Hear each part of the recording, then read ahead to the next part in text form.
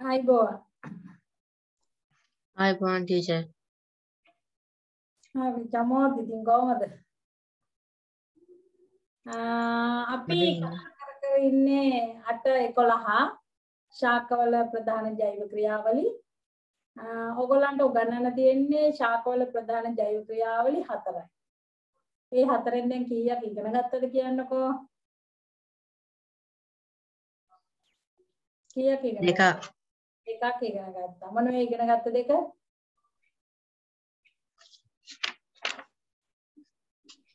පරිවහනය ආසෘතියයි sorry ඉසර නෑ ආසෘතිය නෑ, ඊට කලින් තව එකක් කියන්න. ශාකවල ප්‍රධාන ජෛව ක්‍රියාවලි දෙකක් කියලා දුන්නා. මොනවද ජෛව ක්‍රියාවලි දෙක?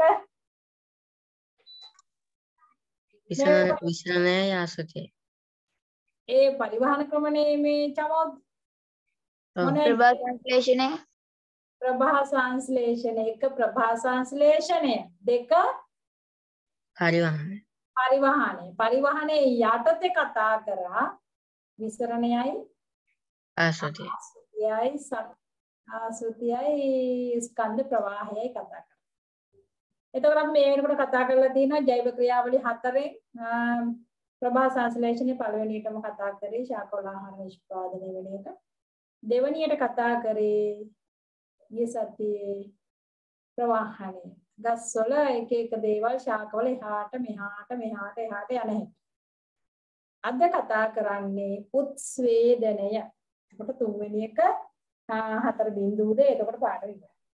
දැන් ලියාගන්න පාඩම ටීචර් ස්කන්ධ ප්‍රවාහයේ පොඩි කෑ මේ තරුව මේ නෝට් එකයි ලියාගත්තේ ඔය චමෝදස්කන්ධ ප්‍රවාහය කියන්නේ ෆ්ලෝයම හරහා ශාකවල නිපද වෙන ග්ලූකෝස් පිෂ්ඨය වශයෙන් එහාට මෙහාට ගමන් කරන එක. ඒක එච්චර මේ සිලබස් එකේ ලොකු අවධානයක් දාලා නැහැ. නිකන් මතක් කරන්න කියලා තියෙනවා. ඒ නිසා ඒක ගැන ගොඩක් කියලා දුන්නේ නැහැ. අපි ඉතින් ඒ හරි ටික ටීචර් ඊළඟට අපි දැන් කතා කරන්නේ අද උත්ස්වේදනය. උත්ස්වේදනය. මොනේ උත්ස්වේදනය ගැන දන්නේ මේ තුන්වෙනි එක. තුන උත්ස්වේදනය. එක ප්‍රභා සංශ්ලේෂණය, දෙක ප්‍රවාහණය, පරිවහණය. තුන්වෙනි එක උත්ස්වේදනය. උත්ස්වේදනය කිව්වම මොනවද දන්නේ? ශාක පත්‍ර තුළින් ජලය ජලය වාෂ්ප ලෙස පරිවහනය වීම ශාක පත්‍ර වලින් ජලය වාෂ්ප ලෙස පිට වෙනවා. ශාක පත්‍ර වලින් ජලය වාෂ්ප වශයෙන් වායු ගෝලයට එකතු වෙන එක අපි කියන්නේ උත්සේදනය කියලා. හැබැයි ඉතින් පත්‍ර වලින් විතරක්මත් නෙවෙයි. අපි කියමුකෝ මල්- කොටස් වලින් ඕ ශාක වල වායු කොටස් වලින්. අපි කියමුකෝ අපි මල් ටිකක් මේ මල් ටිකක් දහම් පාසල් ගෙනියන්න හරි ඉස්කෝලේ ගෙනියන්න හරි සිලිකාරක දාලා වතුරේ හින් නැතුව මං කියන්නේ වතුරේ හින් නැතුව ගැට ගහලා තිබ්බත් ඒ වගේම උත්සේදනය වෙනවා. එතකොට ඊළඟට එළවලු වර්ග ඔය අම්මල පොළේ එහෙම ගිහිල්ලා හිටි ගමන් සිලිකවර පිටින්ම තියෙනවා. එතකොට ඒ වගේ ජල බිඳිති තියෙනවා. ඒ නිසා ශාක පත්‍ර වලින් විතරක් නෙවෙයි ශාක දේහයෙන් අපි කියන්නේ. ශාක දේහයෙන්. ශාක දේහයෙන් මේ වාෂ්ප විදිහට වාෂ්ප විදිහට මේකෙන් පිට වෙන එක අපිට පේන්නේ නැහැ. පේන්නේ නැත්තේ මොකෝ වාෂ්ප විදිහට තමයි පිට වෙන්නේ. ජල වාෂ්ප අපේ ඇසට පේන්නේ නැහැ. හැබැයි ජල බිඳි ජල වාෂ්ප ටිකක් එකතු වෙලා පොඩි ජල බිඳිත්තක් හැදුනොත් අපිට ඇහැට පේනවා. උදාහරණ ඔය වහින කාලේට අපේ උදේට ඉස්කෝලේ යනකොට මීදුම් කුඩු අපේ කොණ්ඩවල එහෙම අර බැඳිලා තියෙන මීදුම් කුඩු මීදුම අපිට පේනවා. මොකද මීදුම අපිට පේන්නේ මීදුම කියන්නේ ජල වාෂ්ප නෙවෙයි. මීදුම හැදෙන ජල බිඳිති කිහිපයක් ජල වාෂ්ප කිහිපයක් එකට එකතු වෙනවා. එතකොට ඇහැට පේනවා. ජල වාෂ්ප ඇහැට පේන්නේ නැහැ. ඒ නිසා අපිට මේකෙන් වතුර පිට වෙනවා කියලා පේන්නේ නැහැ. හැබැයි මේකට පරීක්ෂණයක් කරන පොඩි පන්තිවලදී. ඇත්තටම තියෙන්නේ හතරේ හතරේ පරිසරයේ පොතේ තියෙන්නේ. මතකද? මේකට උත්තේජනයට කරන පරීක්ෂණය. ඔව් ටීචර් මතකයි. ශාකාත්තක් සිලිකවරයක ගැට ගහලා තියෙනවා නෑ. ශාක අත්තක් අපි වෙන වෙන ගැට ගහනවා. මෙන්න මෙහෙම වහලා. මෙහෙම ගහෙන් කඩාගෙන ඇවිල්ලා. මෙහෙම ගහෙන් කඩාගෙන ඇවිල්ලාද නෑ නෑ මං ඉතින් කඩාගෙන ආවා දැන් රෑ ඔයගොල්ලන්ට මට කැමරාවරම් වත්තවට යන්න බෑනේ දැන් මේ උපකරණ වල හැටියට. අපි මෙන්න මේව ගැට ගහනවා. හොඳට සීල් වෙන්න පොලිතීන් කවරයකින් ඔන්න ඔහම ගැට ගහනවා. ගැට ගහලා වැඩි ඕනේ විනාඩි 20ක් යනකොට මේකේ ජල වාෂ්ප නම් පේන්නේ අපි බැඳෙන ඒවට කියන ජල බිඳිති. බින්දුත් නෙවෙයි ජල බිඳිති චූටි ඒවා බින්දුවට අඩු ඒවා ජල බිඳිති මේකේ බැඳෙනවා. ඒ මොකෝ මේ ශාක වලින් ශාක කොටස් වලින් ජල වාෂ්ප වායු ගෝලයට නිකුත් වෙන හින්දා. ඒකට කියන්නේ මොකක් කියලාද? උත්ස්වේදනය කියලා. අකුරු බලන්න උත්ස්වේදනය කියන අකුරු අල්පයන්නක් තියෙනවා. උත්ස්වේදනය කියන්නේ ඒක. එතන උත්සේදනය කියන්නේ එහෙනම් මොකද්ද? අපි අර්ථ දැක්කොත්? උත්සේදනය අර්ථ දැක්කොත් ශාක වායව කොටස් වලින්. වායව කොටස්. මොනවානේ වායව කොටස් කියන්නේ? පූටිකා වායව කොටස් කියන්නේ? අපි ලකුණු කරමු. වායව කොටස්. බලන්න මොනවද වායව කොටස් කියන්නේ? මේ මං අඳින්නේ පොළොව මට්ටම. එතකොට ගස් කොහමද තියෙන්නේ? මේ උඩ තියෙන්නේ ඔන්න ඔය කොටස. යට තියෙන්නේ මුල් මුල පද්ද තියෙන්නේ. හොඳයි. එතකොට මෙන්න මේවට කියන්නේ මොනවද? වායු කොටස්. වායු කොටස් කියන්නේ වායු ගෝලයේ තියෙන කොටස්. එතන මොනවා වායු කොටස් වලට අයිති?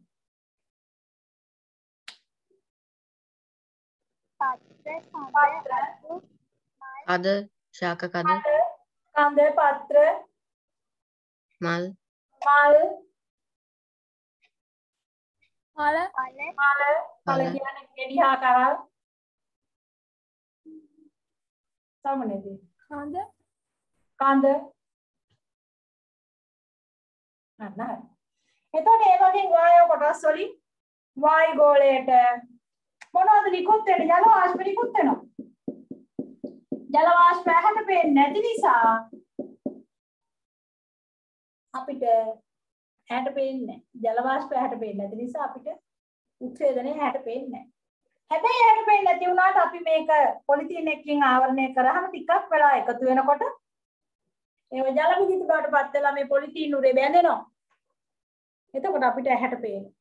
එතකොට උත්සේදනයේට තියෙන පරීක්ෂණය තමයි මේ මේ ශාකයට හෝ ශාකයක අත්තකට පොලිතීන් කොළ මේ වායව කොටස් නිරවු කරගන්න ඉස්සෙල්ලා.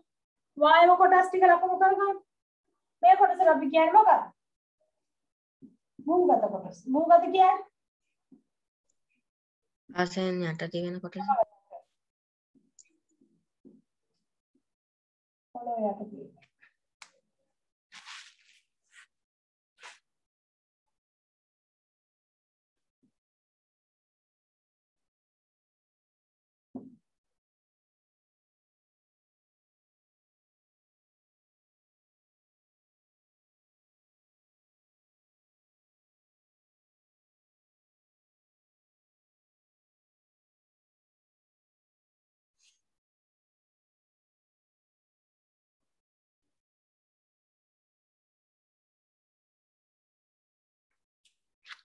දැන් මාර්තු වාර විභාගයට ලෑස්තිද?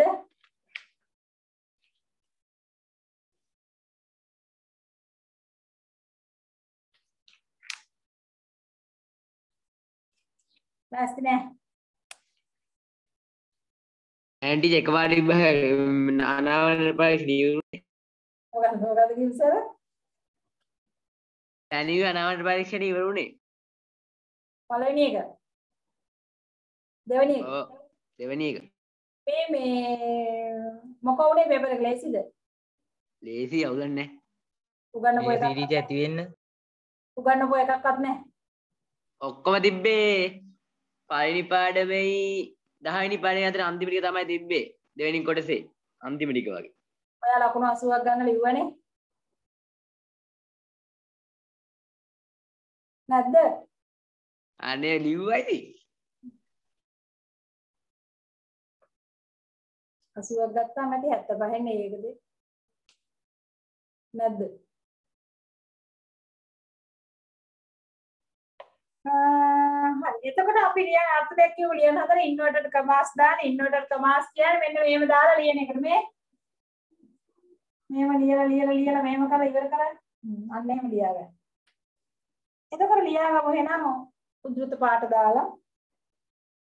ශාකයක ශාකයක. වායව කොටස් වලින්. වායව කොටස් වලින්.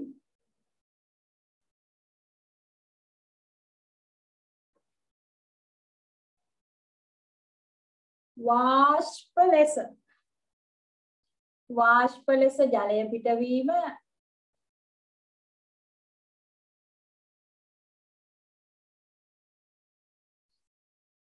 උත්සේදනය ලෙස හැඳින්වේ.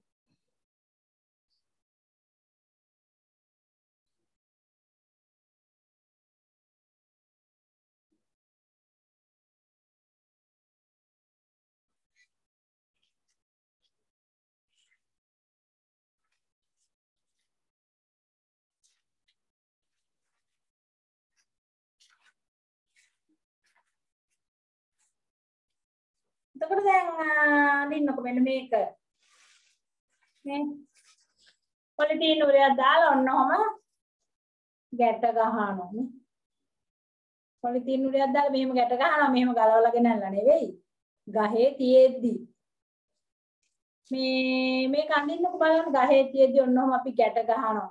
එහා මෙහා පේන හොඳ පාරදෘශ්‍ය පාරදෘශ්‍ය පොලිතීන් එකකින් මෙහෙම ගැට ගහනවා. මෙතන හැබැයි හොඳට සීල් වෙන්න ගැට ගහන්න ඕනේ. මෙතන හොඳට ගැට ගහන්න ඕනේ. ගහේ තියෙද්දි නේද? ගැට ගන්න ශාක අත්තක් ගත්තාම හරි. ඒක නැත්තම් මුළු මුදුන වුණත් කමක් නැහැ. ඉතින් පොඩි ගහක අපිට මුදුන ගන්නත් පුළුවන්.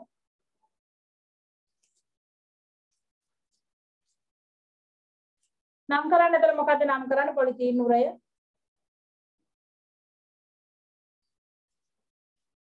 මෙච්චර ටික අනිත් ටික ඕනේ නැහැ. පොළොවේ තියෙන ගහක් හැබැයි. මෙහෙම ගලවලා ගන්න නැහැ.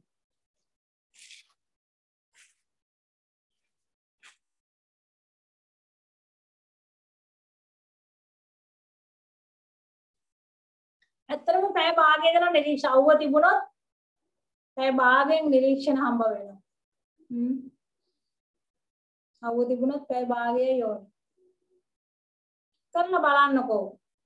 ආ හෙට වැඩක් නෑ නේද? හෙට සැටර්ඩේ සෙනසුරාදා හෙට වැඩක් නෑනේ. මඩිය පාන්ති හෙටද වැඩ තියෙන්නේ? ක්‍රීඩට නෑට මොකද්ද? මල්ලිද? හෙට වෙනදටත් වැඩි වැඩ. ඉදර වැඩ දිනට හෙට ගැට ගහන්නකෝ මං කියන ටයිම් එක 10ට ගැට ගහන්න. 10ට ගැට ගහන්න උදේ ගැට ගහන්න එපා ගස්සල පිරි වේලෙනකන් ඉන්න. ආ දැන් අපා එනවනේ මේ දවස්වල. ගැට ගහන්න හොඳ පොලිතීන් උරයක් දැන් රෑ හොයලා තියන්න කුරයක්. කියලා හොඳට ගැට ගහලා බලන්න. පැය භාගෙන් නිරීක්ෂණ හම් වෙනවා. හෙට උදේ වෙනකන් තිබ්බොත් සිලිකාරේ පල්ලේ වතුර එකතු වෙලා තියෙනවා. ඒ තරමට උච්ඡේදනය වෙනවා.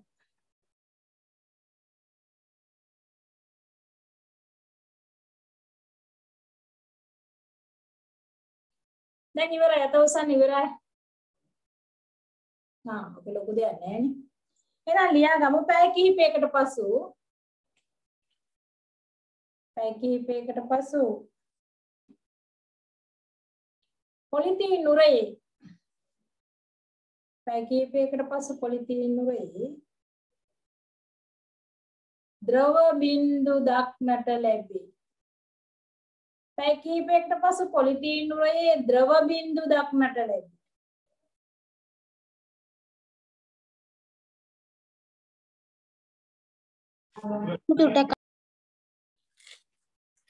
එතන මේකේ ජල ද්‍රව බින්දු දක්නට ලැබෙනවා මේ උරේ ඇතුලේ.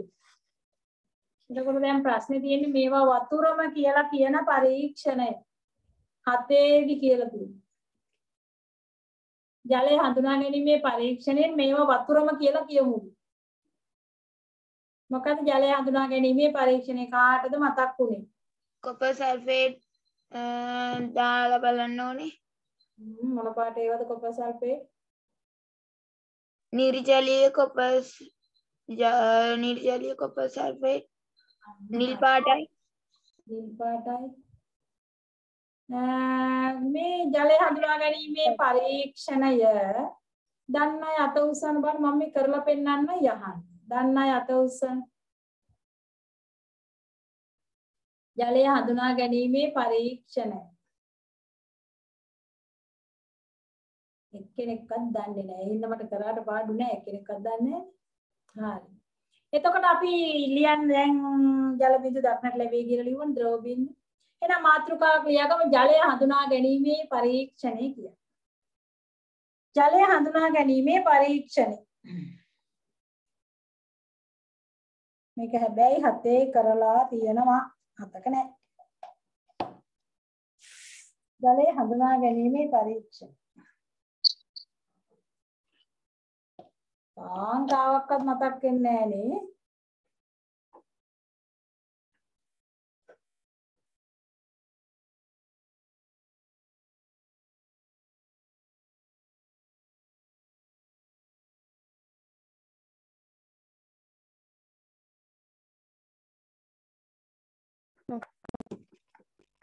ජලය හඳුනා ගැනීමේ පරීක්ෂණය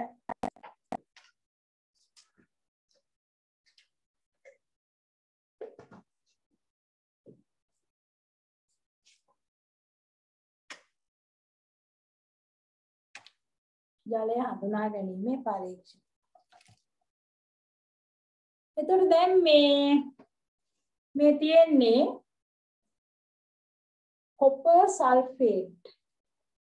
කොපර් සල්ෆේට් කියන්නේ පල්මානික්කම් තමයි අපේ ගමේ ගොඩේ වචනේ කොපර් සල්ෆේට්. එතකොට මේවා මේ නිල් පාටයි. මේ සිලිකවරේ තියෙන්නේ මේ සිලිකවරේ නෙවෙයි මම කියන්නේ මේක ඇතුලේ තියෙන මේ කොපර් සල්ෆේට් මම ඔයගොල්ලන් ටිකක් එළියට අරන් පෙන්නන්නම්කෝ දැකලත් නැතුවත් ඇති සමහර විට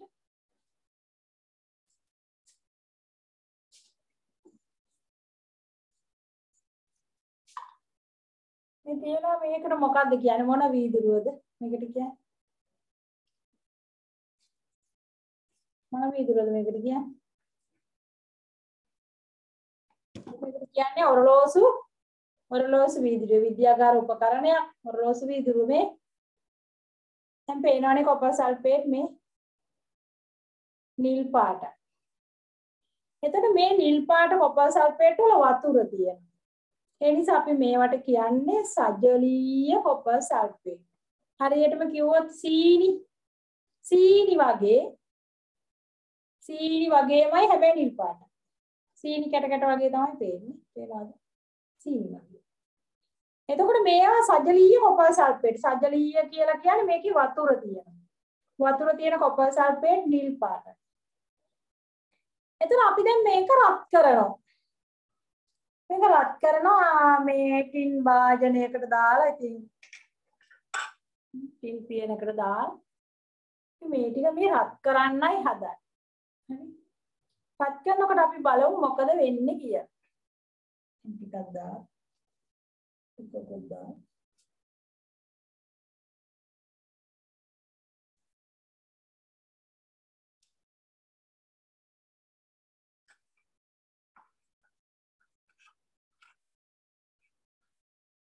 මේක රත් කරමු.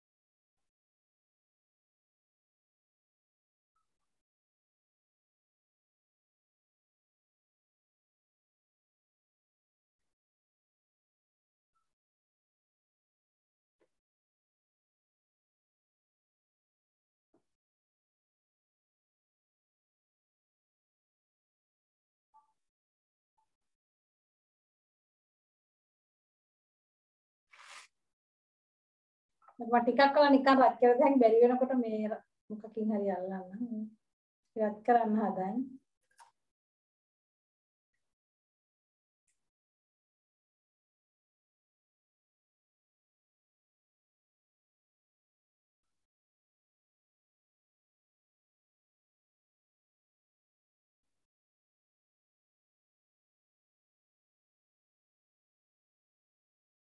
මොන පාට වෙනවද මොන පාට වෙනවද?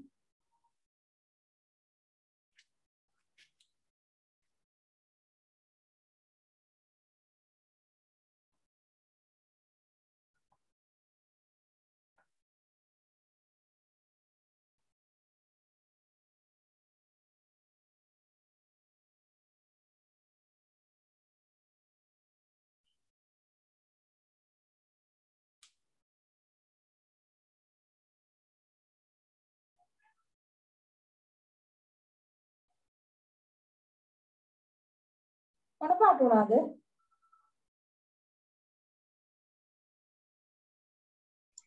නිල් පාට අද නිල් පාට. නිල් පාට වුණා සුදු පාට වුණාද? සුදු පාට උනා සුදු පාට වුණු පාට උනා පාට වෙලා පේනවා සීනි වගේ වෙලා. ඕ ඔව් ටීචර් චුට්ටක් තියෙනවා අන්තාවක දාන්නේ.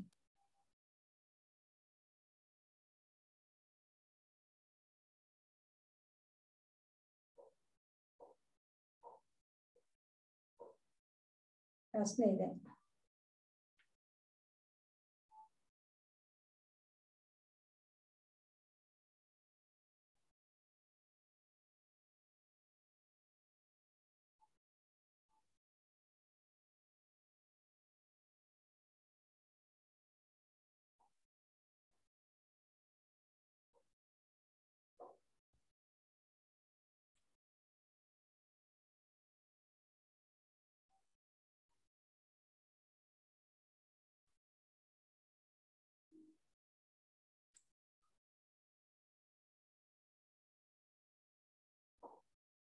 දැන් සෑහෙන පවරක සුදු පාට වුණානේ නැද්ද? වුණා. දුනා ටිකක් තියෙන. තව ටිකක් තියෙන මොකෝ? ඒ ටික රත් වුණාමදි මේක මේ මේ රත් අලු රත් වෙනවා. අල්ලන් ඉන්න බැරි තරම් ඒකයි වෙන්නේ.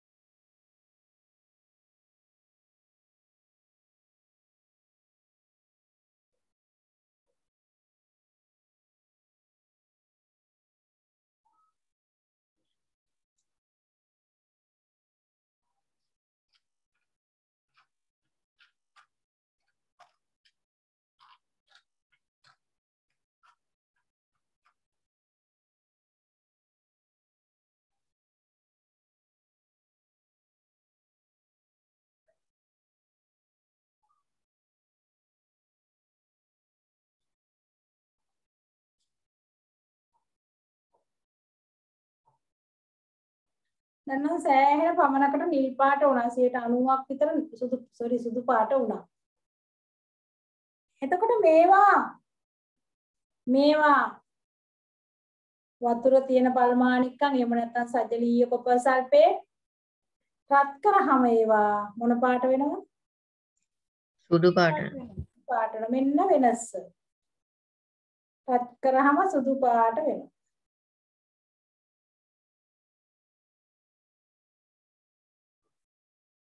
ජලය ඉවත් වුණාම සුදු පාට වෙනවා.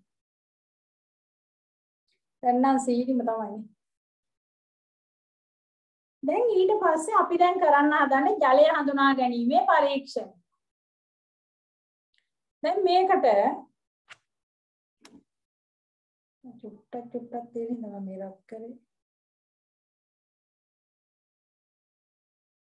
එතකොට දැන් අපි ලියුවොත් අ, මෙතනින් තියලා අපි ඔය ටික ලියලා ඉමු.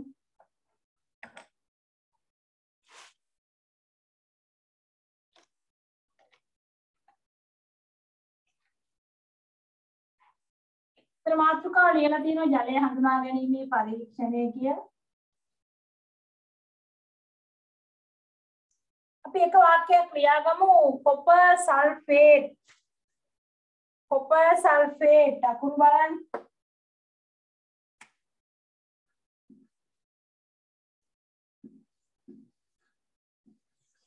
කොපර් ඊළඟ වචනේ සල්ෆේට්. වචන දෙකයි.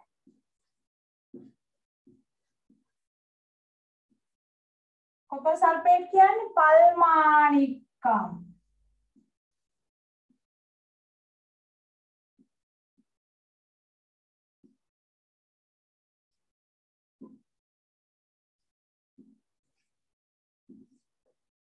Copper sulphate. හැබැයි වතුර තියෙන ඒවාට නමක් කියනවා මොනවද? සජලීය කොපර් සල්ෆේට් වලන් ඇතුළේ ලියන සජලීය සජලීය කියන්නේ නිල් පාට කොපර් සල්ෆේට් කියලා වරන් ඇතුළේ ලියනකො සජලීය කියලා හම්බන්නේ සජලීය කොපර් සල්ෆේට් ස්වල්පයක්. ස්වල්පයක් ටිකක්. ටින් පියනකට දමා. ටින් පියනකට දමා. තාප කළ විට.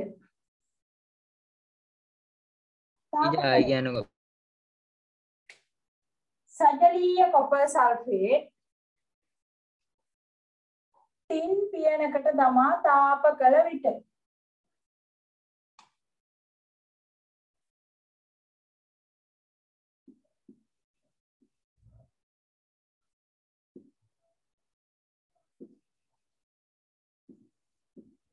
ඒවා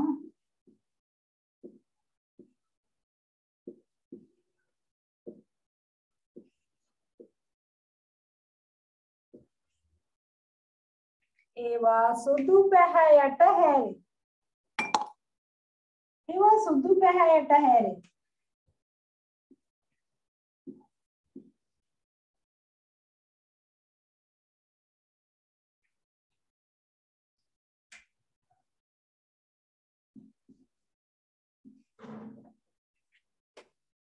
ඒවා සුදු පැහැයට හැරේ. තාප කරනවා කියන්නේ අපි ළඟ සංකේතයක් තියෙනවා මේ මට කියන්න ඕනේ මේවා රත් කරා කියලායි කියන්න ඕනේ. මේ ඒ කියන්නේ රත් කරා කියලා. හරි. දැන් රත් කරාම ඕම වෙනවා. නිල් පාටේව සුදු පාට වෙනවා. ලියා ගන්න. නිල් පාටේව සුදු පාට වෙනවා.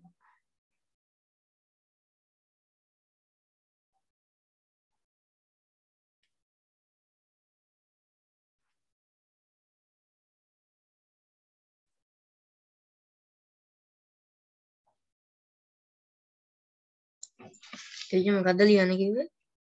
බෝඩ් එකේ තියෙන එක. බෝඩ් එක පේනවද? ඔව් ටීචර්. බෝඩ් එකේ තියෙන එක ලියා ගන්න කිව්වා.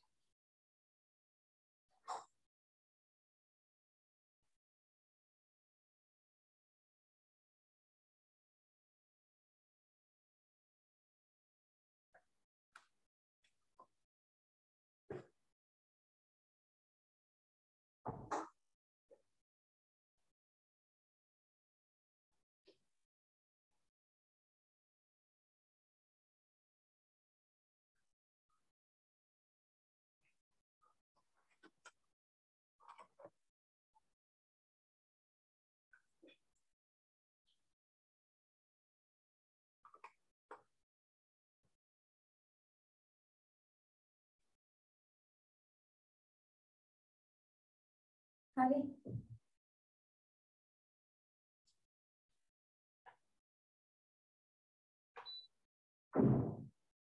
ඉවද ලියාගෙන.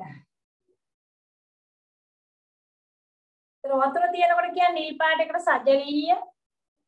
පත් කරාම කියන්නේ නිර්ජලීය. දැන් මම කරන්න හදන වැඩේ බලන්නකෝ.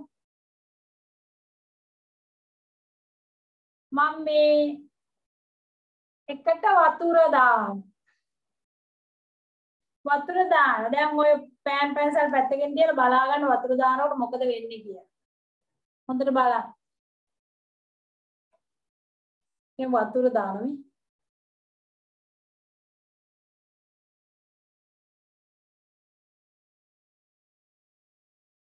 මොකද වෙන්නේ? නිල්? පාට නිල් පාට යනවා. ආයෙත් නිල් පාට වෙනවා.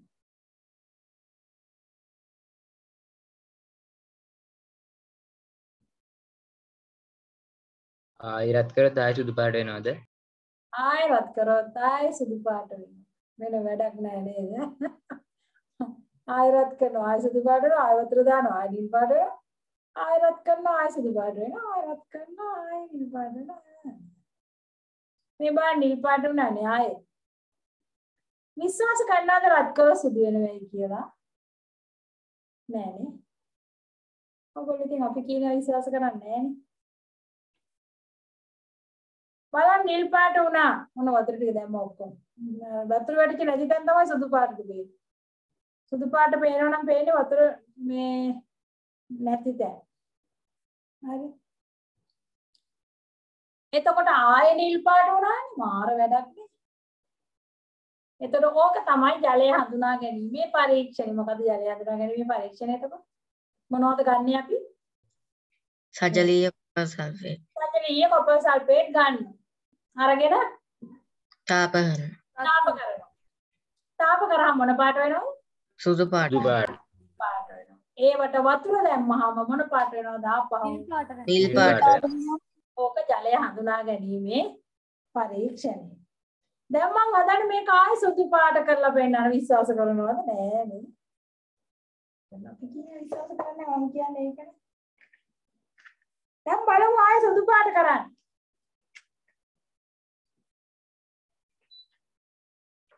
ආයෙ සුදු පාට කරන්න අද. හරි? චුට්ටක් සුදු පාට කරලා වෙන්නන්න නේ. නැත්තම් අද වෙ- වෙන වැඩක් කරන්න වෙන්නේ නැහැ.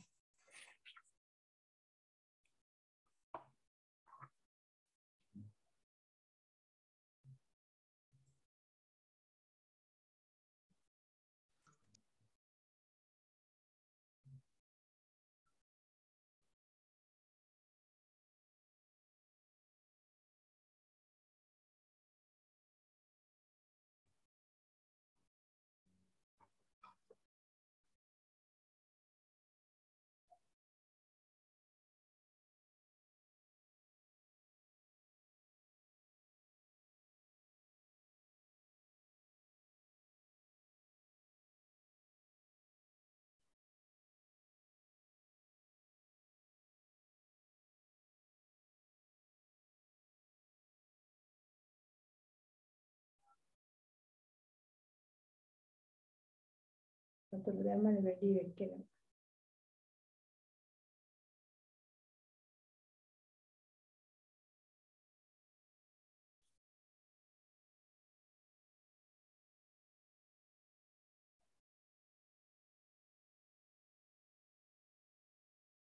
වටනද නෑ?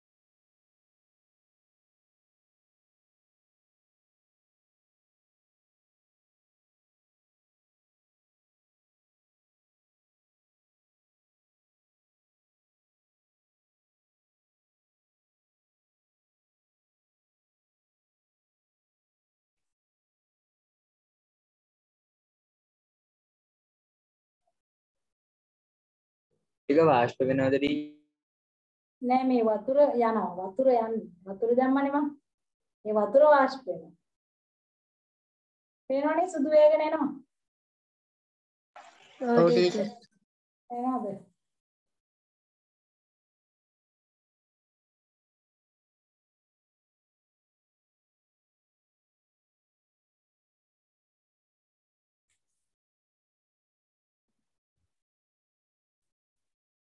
හරි ඔය විදිහට ඔක්කොම සුදු පාට වෙනවා.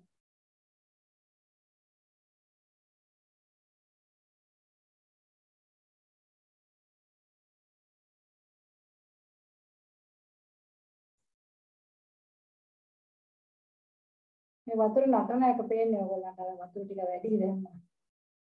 ඒක. හරි සුදු පාට වෙනවා. පේනවනේ සුදු පාට වේගන එනවා. පේනවා ටීචර්. ඔතත් එච්ච දැන් සුදු පාට වෙනවා. ටිකකින් ඕනනම් ආයෙ බලමු මේකේ රස්නේ එක අල්ලගෙන ඉන්නවා. ඕඩර් එකක් හොයාගන්න.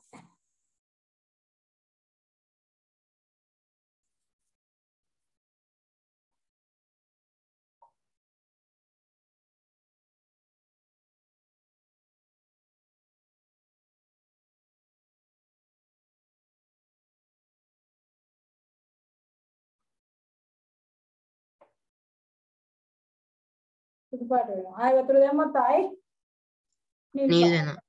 ආයෙ නිල් වෙනවා. එතකොට ඕක තමයි ජලය හඳුනා ගැනීමේ පරීක්ෂණ අපි කොතෙන්ට වෙනකන් ලිව්වද දැන්? මේක ලිව්වේ අන්තිමටනේ. ඔව් ටීචර්. එහෙනම් ලියාගමු සුදු පැහැති. සුදු පැහැති. නිර්ජලීය කොපර් සල්ෆේට් වල සුදු පැහැති නිර්ජලීය කොපර් සල්ෆේට් වලට ජලය දැමූ විට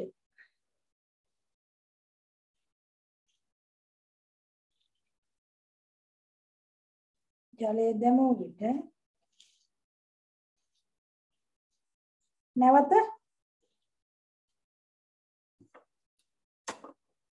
නැවත නිල් පැහැවේ. නිල් පැහැවේ නැවත නිල් පැහැවේ. මේ ජලය හඳුනා ගැනීමේ පරීක්ෂණය. මේ ජලය හඳුනා ගැනීමේ පරීක්ෂණය.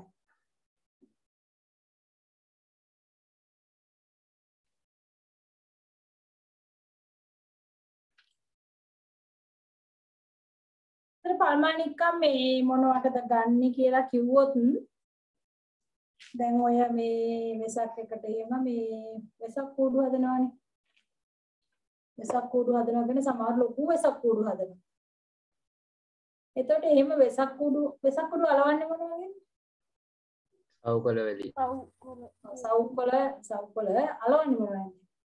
පාප වලින් පාප වලින් අලවන්නේ. එතකොට පාප දැන් අද හදපු පාප එක හෙට වෙනකොට මොකෝ? වාර සුවඳයිනේ. ආපෝ එතන පාප නම් දැන් ලොකු කූඩුවක් දැන් ටක් ගාලා අලවන්න බෑනේ. ඉතින් ලොකු කූඩුවක්. ඉතින් වෙසක් එකට හදන කූඩුව. ඉතින් මාර්තු වල ඉඳලාම අලවන්න වෙන ලොකු කූඩුවක් හදනවා නම්. ලොකු කූඩුවද කූඩුවේ හැටියට. එතන පාප මොකද වෙන්නේ? දැන් හෙටත් ඉතින් කට්ටිය එනවා. අලවන්න අද හදන පාප එක නරක වෙනවා ඉතින් මේ පල්වානික්කන් ටිකක් දාලා කරකෙව්වහම කලවම් කරාම පාප එක නරක වෙන්නේ නැහැ මොකද පල්මානික්කන් ඇවිල්ලා හොඳ දිලීර නාශකයක් දිලීර නාශකයක් මොකද දි- දිලීර හැදිලා තමයි පාප එක නරක වෙන්නේ ඒතර ඒ නිසා පල්මානික්කන් එහෙම අ, ප්‍රයෝජනෙට ගන්න. මේ පාමසි වල තියෙනවා. පාමසි බෙහෙත් ගන්න තැන. පල්මානික්කන් තියෙන හැබැයි කිලෝ එකක් ම්, 4000ක්. ඒක ටිකක් මිල වැඩි සංයෝගයක්. එතකොට දැන් අ, අපිට දැන් මේ අපි ගියේ මේ උත්සේදනයන්නේ. දැන් මේක ඇතුලේ තියෙන්නේ දැන් මේක ඇතුලේ වතුර තියෙනවනේ. දැන් බිදිකි කියන ද්‍රව බින්දු තියෙනවා. මේ ද්‍රව බින්දු අපිට කියන්න ඕනේ ස්ථීරවම ජලය කියලා. අන්න ඒකට අපි යොදා ගන්නවා ජලය හඳුනා ගැනීමේ පරීක්ෂණය. දැන් කොහොමද කියන්නේ මේක ඇතුලේ ස්ථීරවම ජලය තියෙනවා කියලා කියන්නේ? නිල් ජලීය පරමා පරමාණිකම් වලට ඕකේ තියෙන ද්‍රව ටික වක් කරනවා. එහෙම එතකොට නිල් පැහැයට හැරෙනවා නම් වතුර. පැයට හැරෙනවා නම් වතුර එහෙම නැත්නම් තව වැඩක් තියෙනවා. අපි මේක මෙහෙම ගලවලා ගන්නවා. ගලවලා ගත්තාම මේක ඇතුලේ මොනවද තියෙන්නේ දැන් ජල බිඳු තියෙනවා. ඒකට අපි මොකද කරන්නේ අර සුදු පාට කුඩු ටිකක් ඉහිනවා. ඒක ලේසියිනේ. මේක ඇතුලේ තියෙන ජල බිඳුවට සුදු පාට කුඩු ටිකක් තියෙනවා. සුදු පාට කුඩු කිව්ව නිර්ජලීය සල්ෆේට්. ඉස්සා මේව මොන පාට වෙනවද? නිල්. පාට වෙනවා. නිල් පාට වෙන පාට වෙන එක තමයි ජලය හඳුනා ගැනීමේ පරීක්ෂණය. එතන අපි ලිව්වේ එතන ද්‍රව බින්දු දක්නට ලැබේ ඊට පස්සේ මේක ලිව්ව ජලය හඳුනා ගැනීමේ පරීක්ෂණය ලිව්වා. ඒක මොකද ඉවර කරේ මේ චමුවත් අපි මෙතන මේක විතරද ලිව්වේ? සුදු පැහැති නීල් ජලීය කොපර් සල්ෆේට් වලට ජලය දැමූ විට නැවත නිල් පැහැවේ. මෙය ජලය හඳුනා ගැනීමේ පරීක්ෂණය. පරීක්ෂණයයි හරි ඊට පස්සේ අපි ලියන උස්සේදනයේ කතාව වෙනම ඡේදකින් ලියාගමු පොලිතීන් නුරයේ එකතු වෙන පොලිතීන් නුරයේ එකතු වෙන ජල බිඳීති වලට පොලිතීන් නුරයේ එකතු වන ජල බිඳීති වලට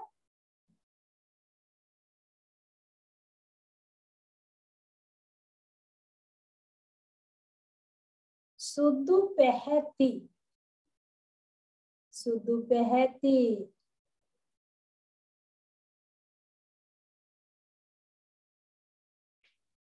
නිර්ජලීය කොපර් සල්ෆේට් සුදු පැහැති නිර්ජලීය කොපර් සල්ෆේට් දැමූ විට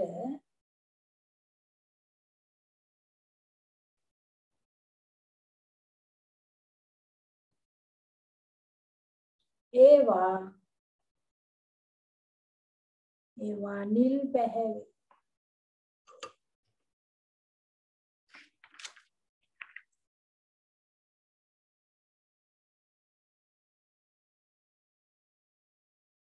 එනම් උත්සේදනයේදී පිටවන්නේ එනම් උත්සේදනයේදී පිටවන්නේ ජලයම බව තහවුරු වේ. එනම් උත්සේදනයේදී පිටවන්නේ ජලයම බව තහවුරු වේ.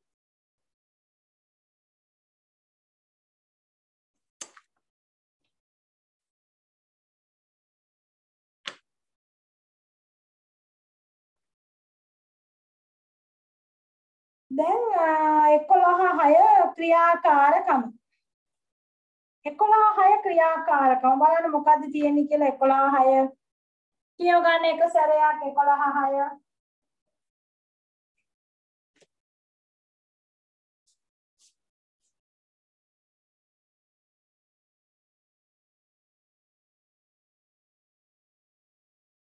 11 6 ක්‍රියාකාරකම්.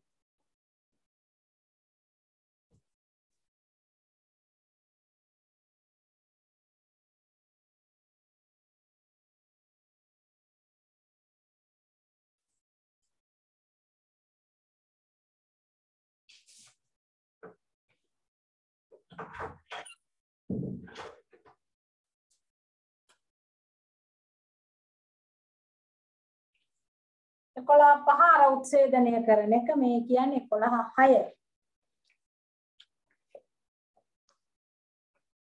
මෙහෙම නලයක් තියෙනවා. ඕකට කියනවා මොන නලය කියලා. යූ නලය.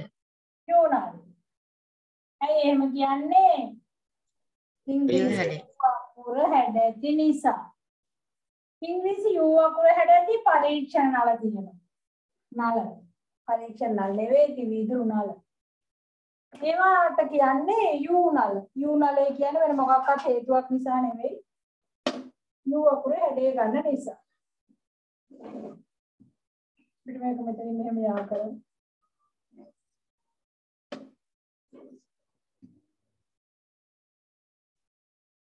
යූ නලය කැඳ ගන්න ඕනේ. දැන් යූ නලේ මේ දෙපැත්තට අපි කියනවා බාහු කියලා. බාහු. එතකොට මේ බාහුව දෙක අපිට නම් කරන්න පුළුවන්. මේ පැත්ත x බාහුව මේ පැත්ත y බාහුව කියලා අපි සාමාන්‍යයෙන් නම් කරමු. දැන් මෙතන මොකද කරලා තියෙන්නේ මේකේ? කියන්න බලන්න කරලා තියෙන්නේ එක පැත්තකට මේ වගේ අත්තක් ගහලා තියෙනවා. ශාක අත්තක් මෙහෙම සම්බන්ධ කරලා තියෙනවා. මේක ශාක අත්ත සම්බන්ධ කරගන්න විදියක් කියනවා මෙතන ගහන්න.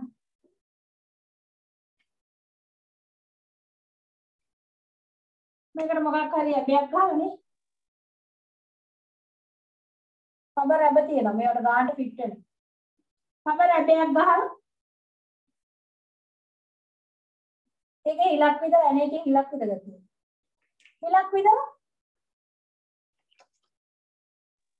ශාකත්තයකට සවි කරන ආකාරයට ඒකට සවි කරන්න පුළුවන්. හැබැයි පොඩි ප්‍රශ්නයක් තියෙනවා. මේකට මේ ශාකාත්ත හයි කරගන්න වැඩේ මේකට අපිට ශාකාත්ත හයි කරගන්න පුළුවන් මේකේ හිලක් විදලා මේකට මේ අත්ත හයි කරගන්න පුළුවන්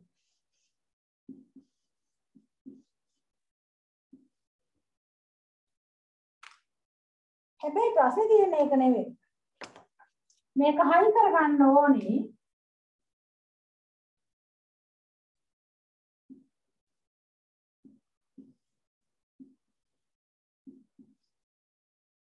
මේක හයි කරගන්න ඕනේ. ඒ වැඩක් තමයි වෙන්නේ. බේසමක් ගන්න ලොකු බේසමක්. අරගෙන මේ යූ නලයයි ශාකාත්තයි මේ ඇබේ ඔක්කොම දාන්න ඕනේ වතුරට. වතුරෙන් උඩ ඉන්න බෑ වතුරට දාලා බේස වතුර වතුර දැන් බේසමේ තියෙනවා මේක බේසමේ වතුරත් එක්ක තියෙන.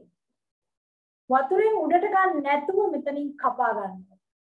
කපාගෙන වතුරෙදිම මේක හයි කරගන්න ඕනේ හරහද. තේරුණාද?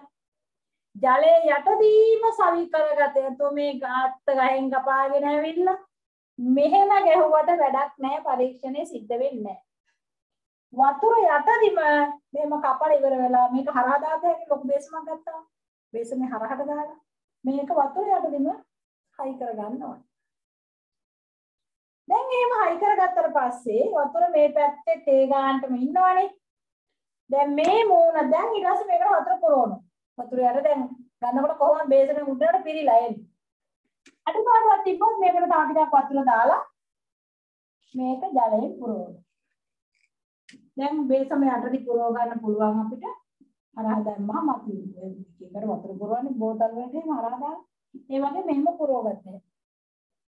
පුරවගෙන ඉවර වෙලා යූනලේ කොහොමද මේව ගත්තාම මේ දෙපැත්ත ජල මට්ටම් දෙක සමානව ඉන්නවා.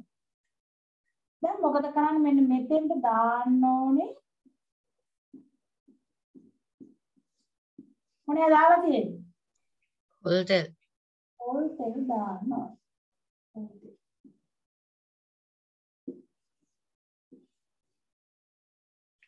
දැන් එතකොට මොකද වෙන්නේ?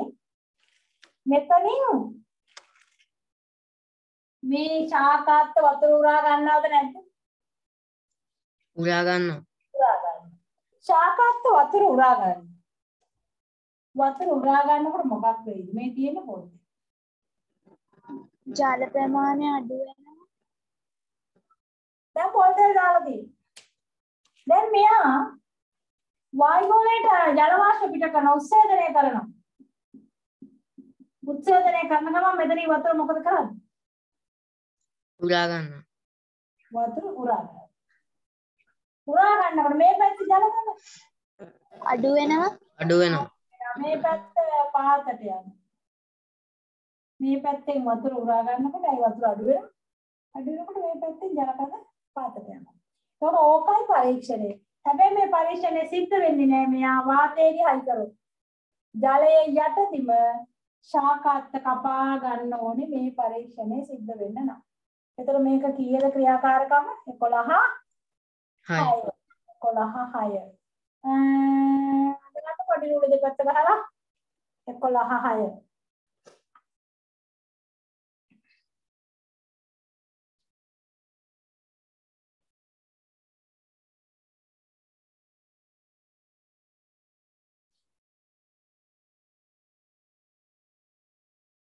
එකොළහ හය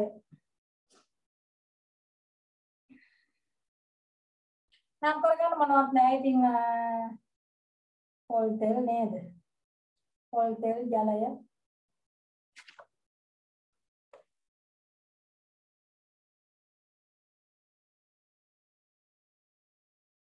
පොල් තෙල් ජලය යුණලය ශාකාත්ත තව පොඩි දෝෂයක් තියෙනවා. ඔකේ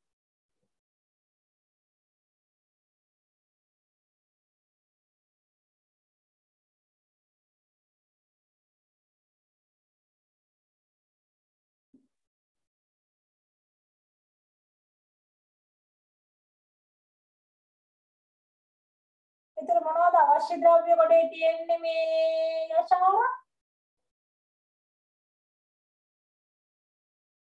කියවන්න. අවශ්‍ය ද්‍රව්‍ය කියන තැන මොනවද තියෙන්නේ? ජලයේදී කපාගත් ශාකත්තක් පොල්තෙල් රබර් රැබෑ ග්‍රීස් ඉටි යූනාරය ජලය ග්‍රීස් මොකටද? මං ග්‍රීස් ගැන මොකද- වායු රෝධක කරගන්න වාතය. ඇතුල් වෙන එක වළක්ව ගන්න වායු රෝධක කරගන්න. වායු කොතෙන්ද දාන්නේ? රබර් රැබ වටේ රබර් රැබේ වටේට දාන්න ඕන. අපි දානවා ග්‍රීස් හරි ඉටි හරි ඇඳලා ඉවරද? ග්‍රීස් හරි ඉටි හරි දානවා. දැන් ප්‍රශ්නේ තියෙන්නේ මේ රබර් රැබෙන් දැන් හිලක් විතර ඇණයක් ගහලා හිලක් විතර අපි ශාකාත්ත ගැහුවාම මෙතන ඉන්නේ නැද්ද පොඩි අතරක්? මෙතන පොඩි අතරක් ඉන්නව නැද්ද ඉන්නේ අතරක්? හරියට නෑනේ අතරක් ඉන්නවනේ. එතකොට දැන් මොකද වෙන්නේ මේ මෙතන අතරින් ජලය වාෂ්ප වෙන්න පුළුවන්. මේ හරියට පිට වෙන්නේ නෑනේ ඉතින්. එතකොට ඒ නිසා අපි මෙන්න මෙතෙන්ට වක් කරනවා. පාඩම මං අඳින තැන. මෙන්න මෙතෙන්ට වක් කරනවා. මොනවද වක් කරන්නේ? ග්‍රීස් හරි ඉටි හරි ග්‍රීස් හරි ඉටි හරි දාන්න. ග්‍රීස් නම් ගන්න ලේසි ඉටිපන්දව දැන් මේක මේ ශාකත්ත හරහා දාලා කරදර වැඩක් මේ ශාකත්ත අස්සේ ඉටිපන්දම් දාන එක. ඒ හින්දා ලේසි වැඩේ තමයි ග්‍රීස් ටිකක් ගත්තා මෙහෙම මෙහෙම මෙහෙම මෙහෙම ගෑ. එතකොට අපි කියනවා යශාරා කිව්වට වචනේ වායු රෝධක වෙනවා. වායු රෝධක වෙනවා කියන වාතයටවත් යන්න බැරි වෙනවා. එතකොට දැන් වතුර අඩු වෙනවා නම් උරා ගන්න තියෙන එකම සාධකය තමයි ශාකාත්. මෙයා උරා ගන්න ඕනේ. නැත්තම් කාට හරි කියන්න පුළුවන් අපෝ උත්සේදනය වුණා නෙවෙයි ඔය. මේ මෙතන චූටි හිලක් තියෙන්නේ.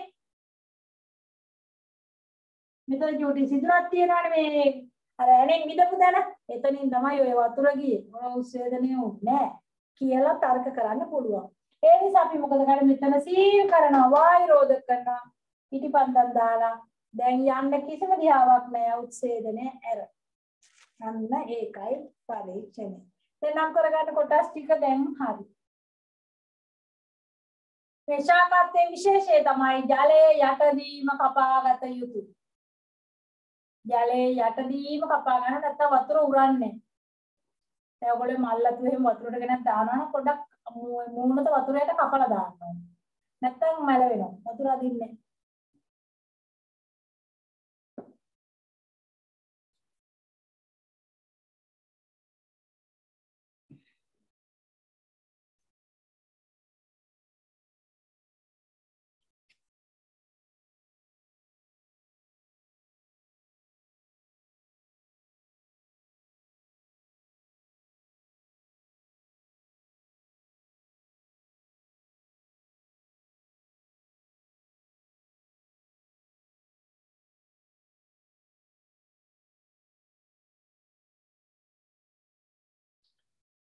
දැන් හරි. හරිද සිනුරි වැඩ ඉවරයි.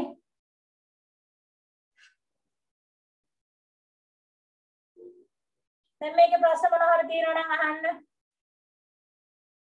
මේ පරීක්ෂණේ අපහැදිලි තැනක් තියෙනවා නම් අහන්න. ඔත ඒක කියව ගත්තා නම් අපහැදිලි තැන් තියෙනවද කියලා දැනෙන්න.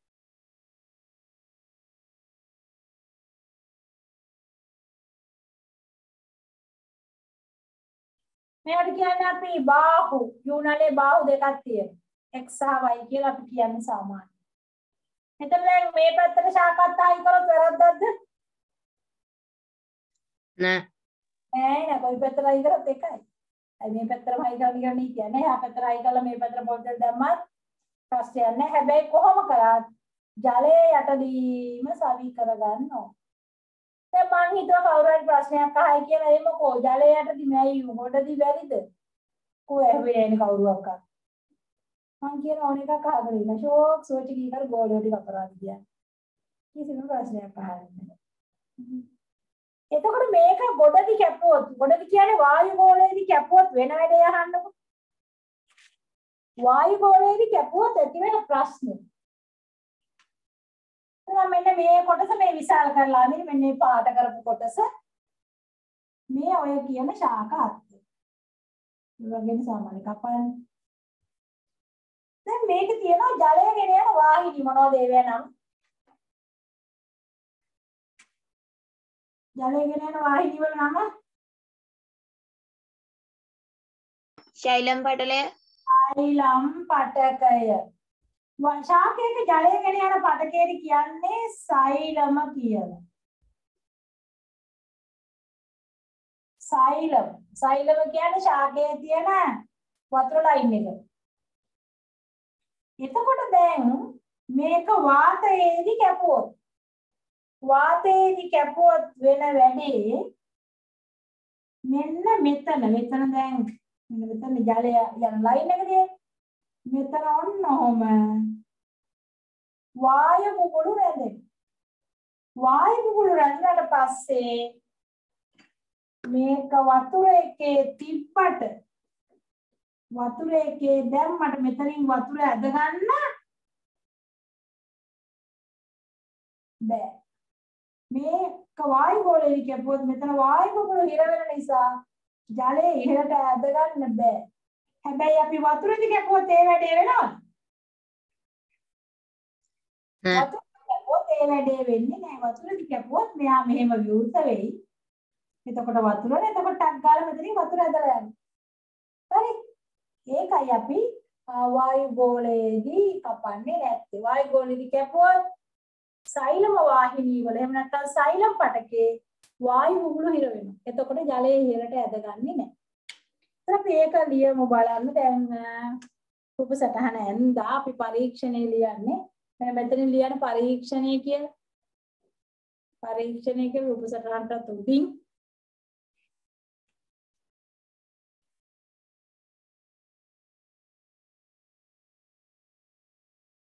ලියාගමු රූප සටහනේ පරිදි. රූප සටහනේ පරිදි. උපකරණ සකස් කොට. රූප සටහනේ පරිදි උපකරණ සකස් කොට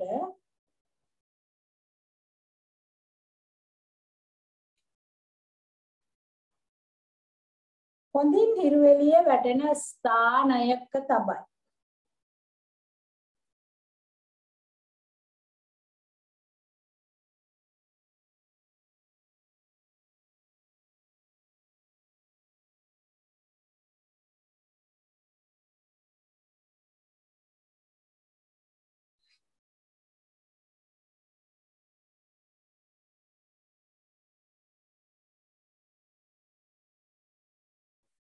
ශාක අත්ත ශාකාත්ත ජලය යටදී ජලය යටදී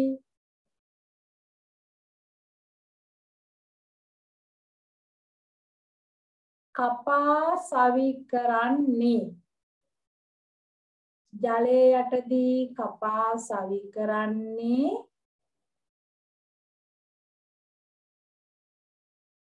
සෛලමෙහි. සෛලම් අකුරු බලන්න මේ. ගයන්න වගේ සයි සෛලමෙහි. වායු බුබුලු සිරවීම. වායු බුබුලු සිරවීම. වැළැක්වීම සඳහාය.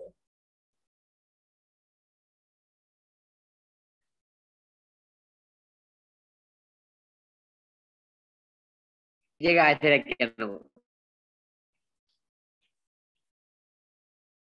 ශාකත්ත ජලයටදී කපා සවි කරන්නේ සෛලමෙහි වායු බුබුලු සිරවීම වැළැක්වීම සඳහා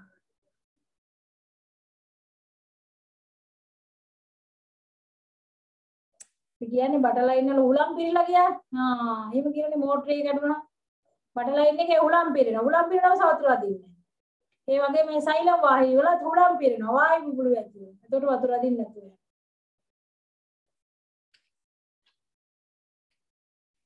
ඇයි කියන පොල් තෙල් දැම්මේ? ඒ වෙත පොල් තෙල් දැම්මේ මොකෝ?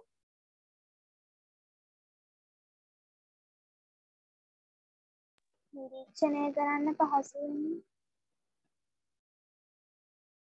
නිරීක්ෂණය කරන්න පස්සේ දාදහසක් කිය. ජල මට්ටම බහිනවා කියලා දැනගන්න. සාක්‍ය.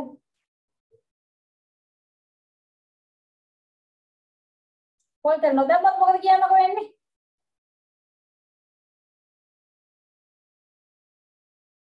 පාතය ඇතුල් වෙනවා. පොල් තෙල් දැම්මේ නැත්තම් මොකක් වෙයිද? පොල් තෙල් ටික අයින් කරනවා. ඔයගොල්ලෝ පොල් තෙල් වෙන්නන්න බෑ. අන්න පොල් තෙල් ටික අයින් කරනවා. දැන් මොකෝ වෙන්නේ? දැන් මොකද වෙන්නේ? පොල් තෙල් ටික අයින් කරනවා.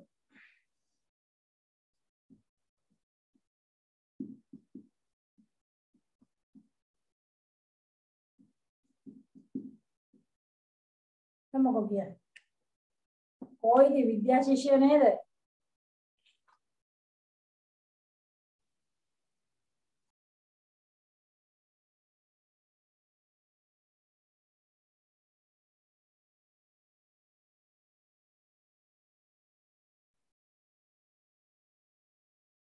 ජල වාෂ්ප ඇතුල් වෙනවා ඇතුල් වෙනවද? ඇතුල් වෙනවද පිට වෙනවද? පිට වෙනවා වෙනවා. මේක මෙහෙම ඇරලා තිබ්බොත් වතුර එකක් මෙහෙම ඇරලා තිබුණත් වතුර මොකද වෙන්නේ? වාෂ්ප වෙනවා. එතකොට මෙහෙම ඇරලා තිබ්බොත් වතුර වට්ටම දැන් අඩු වෙනවා. ඇරලා තිබ්බා වතුර මට්ටම මේ සුමානයක් විතර ඇරලා තිබුණා වතුර මට්ටම ඔන්නෝම අඩු වෙයි. ඒ වාෂ්ප වෙනවා. එතකොට පොල් තෙල් දැම්මහම මොකද වෙන්නේ? එහෙම වෙන්න. එහෙම වෙන්නේ නෑ. පොල් තෙල් දාන්නේ. එතකොට මෙතනින් වාෂ්ප වෙන්නේ. එහෙනම් අඩු වුණා නම් අඩු උනේ මොකකින්ද? පොල් තෙල් දැම්ම කියන්න. අඩු වුණා නම් මේ වතුර මට්ටම අඩු වෙනවා නම් අඩු වෙන්නේ. ශාකාත් අවශෝෂණය කරගත්ත නිසාමයි. පොල් තෙල් දැම්ම නිසා මෙතනින් වාෂ්ප වෙන්න විදිහක් නෑ. නෑ වාෂ්ප වෙන්න විදියක් නෑ පොල් තෙල් දැම්මනේ. පොල් තෙල් නොදැම්මම මෙතනින් වාෂ්ප වෙනවා. එතකොට ළමෙක් තර්ක කරන්න පුළුවන් ආ ඕක වාෂ්ප වෙලානේ. වතුර අඩුනේ ඡේදනය වෙලා නෙවෙයිනේ. ඔයගොල්ලන්ගේ බේරෙන්න ලේසිද කියන්නකෝ. එතකොට ළමෙක් කියයි අපෝ පරීක්ෂණය තියලා නෑ. මෙතනින් කොහොමත් වාෂ්ප වෙනවනේ. වාෂ්ප වෙච්ච හින්දා තමයි අඩුනේ. කියලා. ඒක පොල් තෙල් දැම්මාම එතනින් වාෂ්ප වෙන්නේ නැහැ කීයටවත්. එහෙනම් අඩු වුණා නම් අඩුනේ උත්සේදනය එහෙම නැත්නම් ශාකාත් ජලය උරාගත්ත හින්දාමයි. හරි ගියාද? ඉතින් පොල් තෙල් දන්නේ එහෙනම් මොකක් සඳහාද? වයිබාහුවෙන් ජලය වාෂ්ප වීම වළක්වා ගැනීම. වාස්තවයෙන් වලක්වා නහරි. මෙයාගමු පොල් තෙල් යොදන්නේ පොල් තෙල් යොදන්නේ වයිබාහුවෙන්. වයිබාහුව කියන්නේ මේ පැත්ත. වයිබාහුවෙන් ජලය වාෂ්ප වීම ජලය වාෂ්ප වීම වැළැක්වීම සඳහායි. ජලය වාෂ්ප වීම වැළැක්වීම සඳහා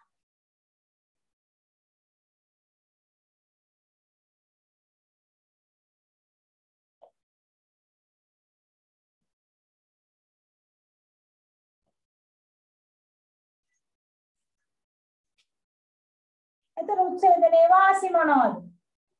මොනවද වාසි?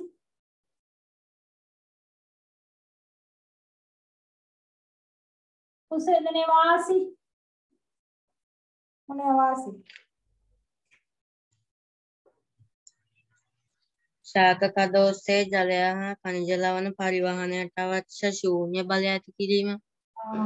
ශාකය සිසිල පවත්වා ගැනීමට දායක වීම. දැන් මෙතනින් වතුර පිට වෙනවා උත්සේදනය වෙනවා.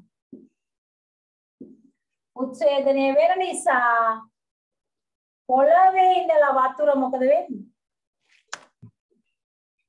පොළවේ ඉඳලා වතුර ඉහළට ඇදිලා එනවා. උත්සේදනය වෙන නිසා තමයි පොළවේ ඉඳලා වතුර ඉහළට ඇදිලා එන්නේ. නැත්තම් අදින්න ක්‍රමයක් නැහැ. එතන උත්සේදනයේ ගාලා ඇදලා ගන්න පොළවේ ඉඳලා ගාලා වතුර ඇදිලා එනවා. ඒතර ඒ නිසා උත්සේදනය නිසා තමයි පොළවේ තියෙන වතුර උඩට ආදින්නේ. අහ කියන්නේ ඒක ඇත්ත. නමුත් වතුර වතුර ඇද ගන්න ක්‍රමයක් නැහැ. ඒතර ඒ නිසා උත්සේදනයේ එක එක. ඊළඟට වායු ගෝලයට විශාල වශයෙන් ජල වාෂ්ප එකතු වෙනවා. හොඳද නැද්ද? හොඳයි. මොන චක්‍රයේ ක්‍රියාත්මක වීම සඳහාද? ජල චක්‍රය. ජල චක්‍රේ නැත්තම් වහින්න කෝ වලාකුළු හැදෙන්න ජල වාෂ්ප. මේ උත්සේදනය වෙන ජල වාෂ්ප ඉහළට ගිහිල්ලා හීතල වෙලා වලාකුළු හැදලා තමයි වහින්නේ. ඒතර ඒ නිසා පරිසරය සිසිල්කාරක බවක් ඇති කරනවා ශාකයට සිසිලසක් ගෙනල්ලා දෙනවා. පොළවේ ඉඳලා වතුර උරා ගන්න දායක වෙනවා. ජල චක්‍රයට දායක වෙනවා. ඕවා තමයි තියෙන වාසි. එතකොට අපි ලියන උච්ඡේදනයේ වාසි. වාසි ලියන්න.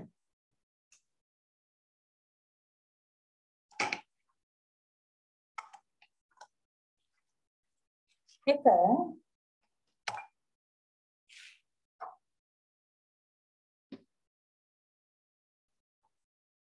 ජලය හා කණිජ ලවණ.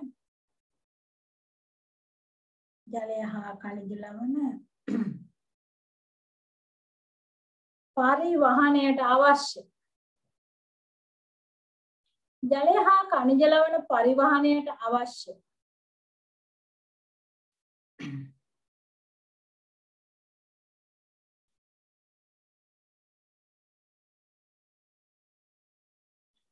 ජලය හා ಖනිජ ලවණ පරිවහනයට අවශ්‍ය. මේ වචනේ බලන්න.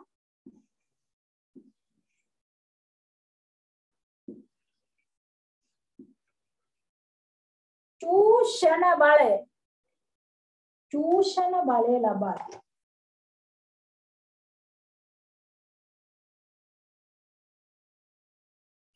ජලය හා ಖනිජ ලවණ පරිවහනයට අවශ්‍ය චූෂණ බලය ලබා දේ.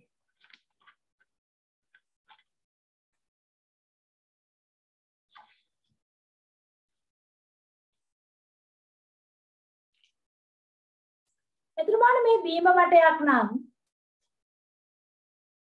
මේ වතුර එක මම මේව කඩ කියන් විදියට වතුර එනවද?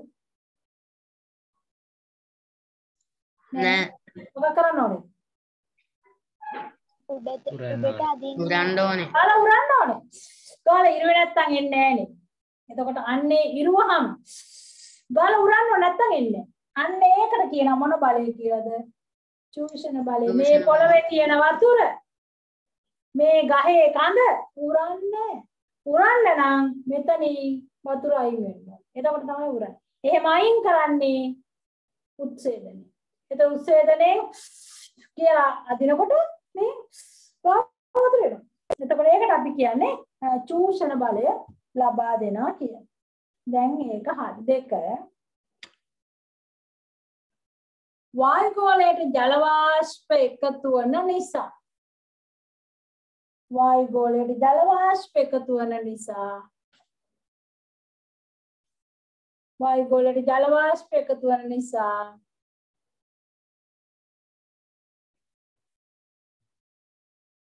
ජල චක්‍රය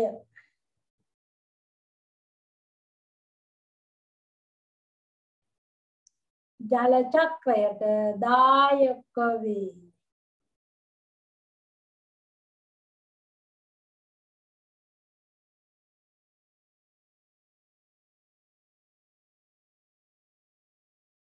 ශාකය තුන ශාකය සිසිල්ව පවත්වා ගනි. ශාකය සිසිල්ව පවත්වා ගනි.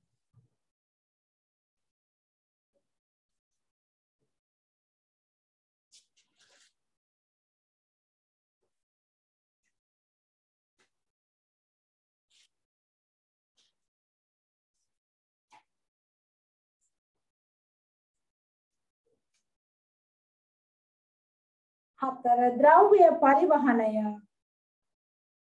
ද්‍රව්‍ය පරිවහනය වේගවත් වේ ද්‍රව්‍ය පරිවහනය වේගවත් වේ ද්‍රව්‍ය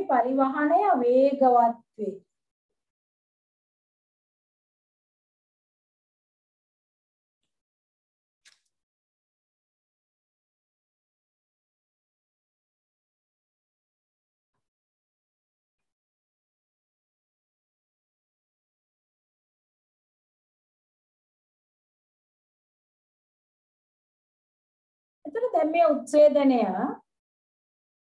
තෙත රෙද්දක් වේලෙනවට සමානයි. තෙත රෙද්දක් වේලෙන්න බලපාන සාධක උච්ඡේදනය කෙරෙහි බලපාන. තෙත රෙද්දක් වේල ගන්න මොනවා බලපාන සාධක අත උස්සලා කියන්නේ?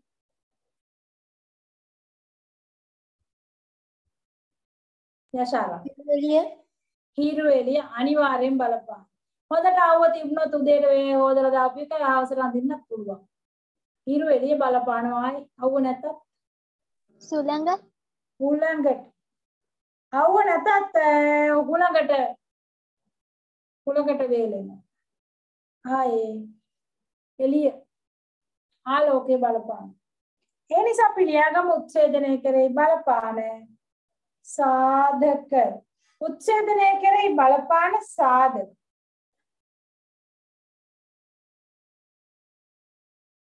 උච්ඡේදනය කරේ බලපාන සාධක මාත්‍රාන දයන්න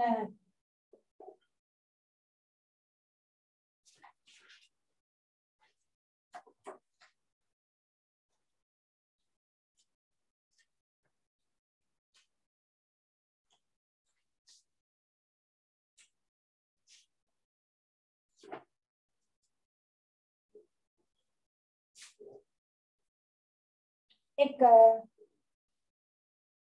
सूर्यतापय सूर्यतापय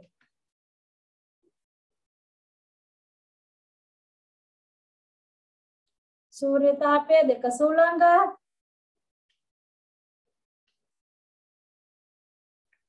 तूने आलोक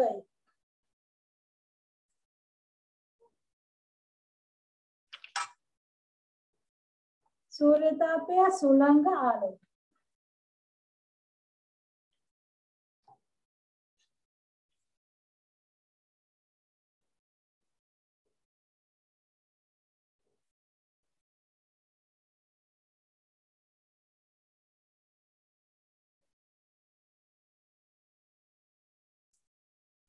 ඉස්කෝලවල මේ බිත්තිවල ඇදලා තියෙනවා සිතියම්. ලංකා සිතියම්. ඔව් සිතියම් ඇදලා තියෙනවා.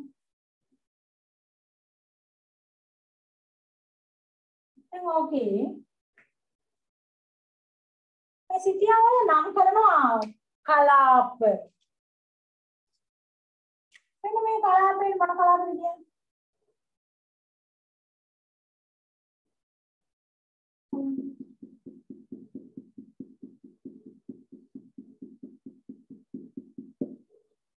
මොන කලාපේ? මොන කලාපේ? දන්නේ තෙත්. තෙත් කලාපය. මේ කලාපයට කියන්නේ මටද කිව්වා තෙත් කලාපය. තෙත් කලාපය කියන්නේ මොකෝ? ආපෝ තෙත් කලාපේ ඉන්නේ කියන්නකෝ. මොකද්ද තෙත් කලාපය කියන්නේ? වර්ෂය පුරාම වහින මතක් කරන්න එපා. ඔව් වහිනවා කියන්නේ.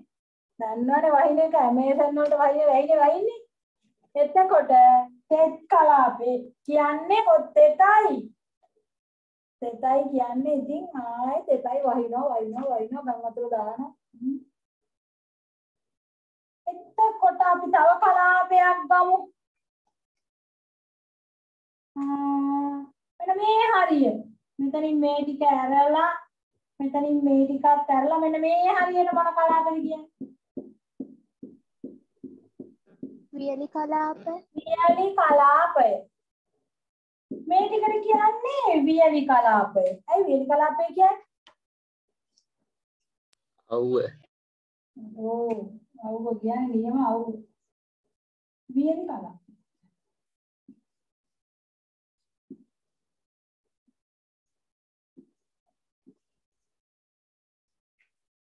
කොට ඒකත් හරි. මේ කලාපෙට මොනවද කියන්නේ?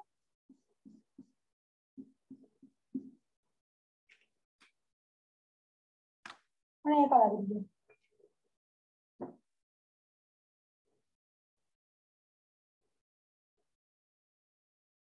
මේ කලාපෙට කියන්නේ?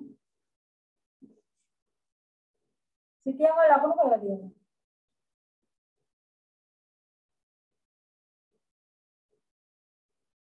ශුෂ්ක කලාප ආ මුල මතක් කරන්න එන්න ඕනේ නේද?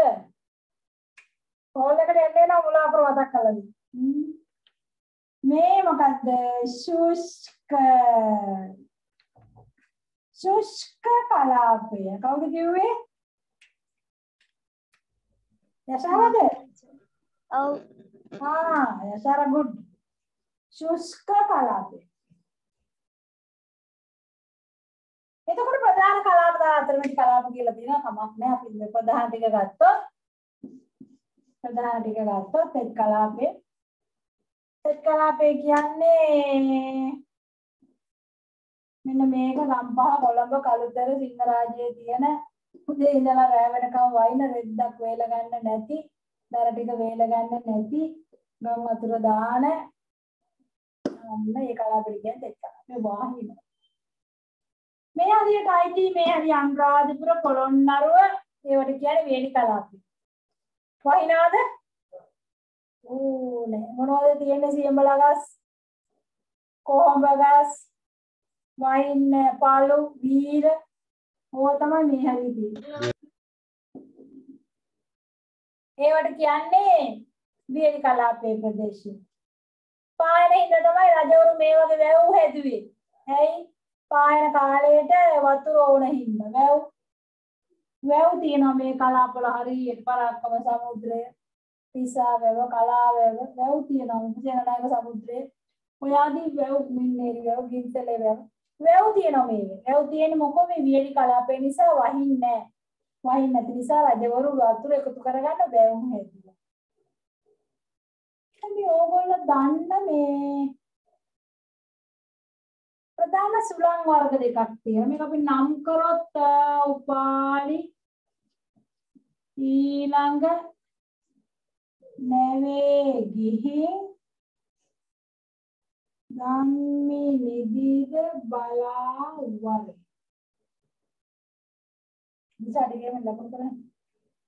එතකොට මේ පැත්තෙන් මේ හුලං හමන මොනවද ඒවට කියන්නේ? ඊසාන දිග මෝසන් ඊසාන දිග මෝසන් සුළං. ඊසානනේ? ඊසාන දිග මෝසන් සුළං.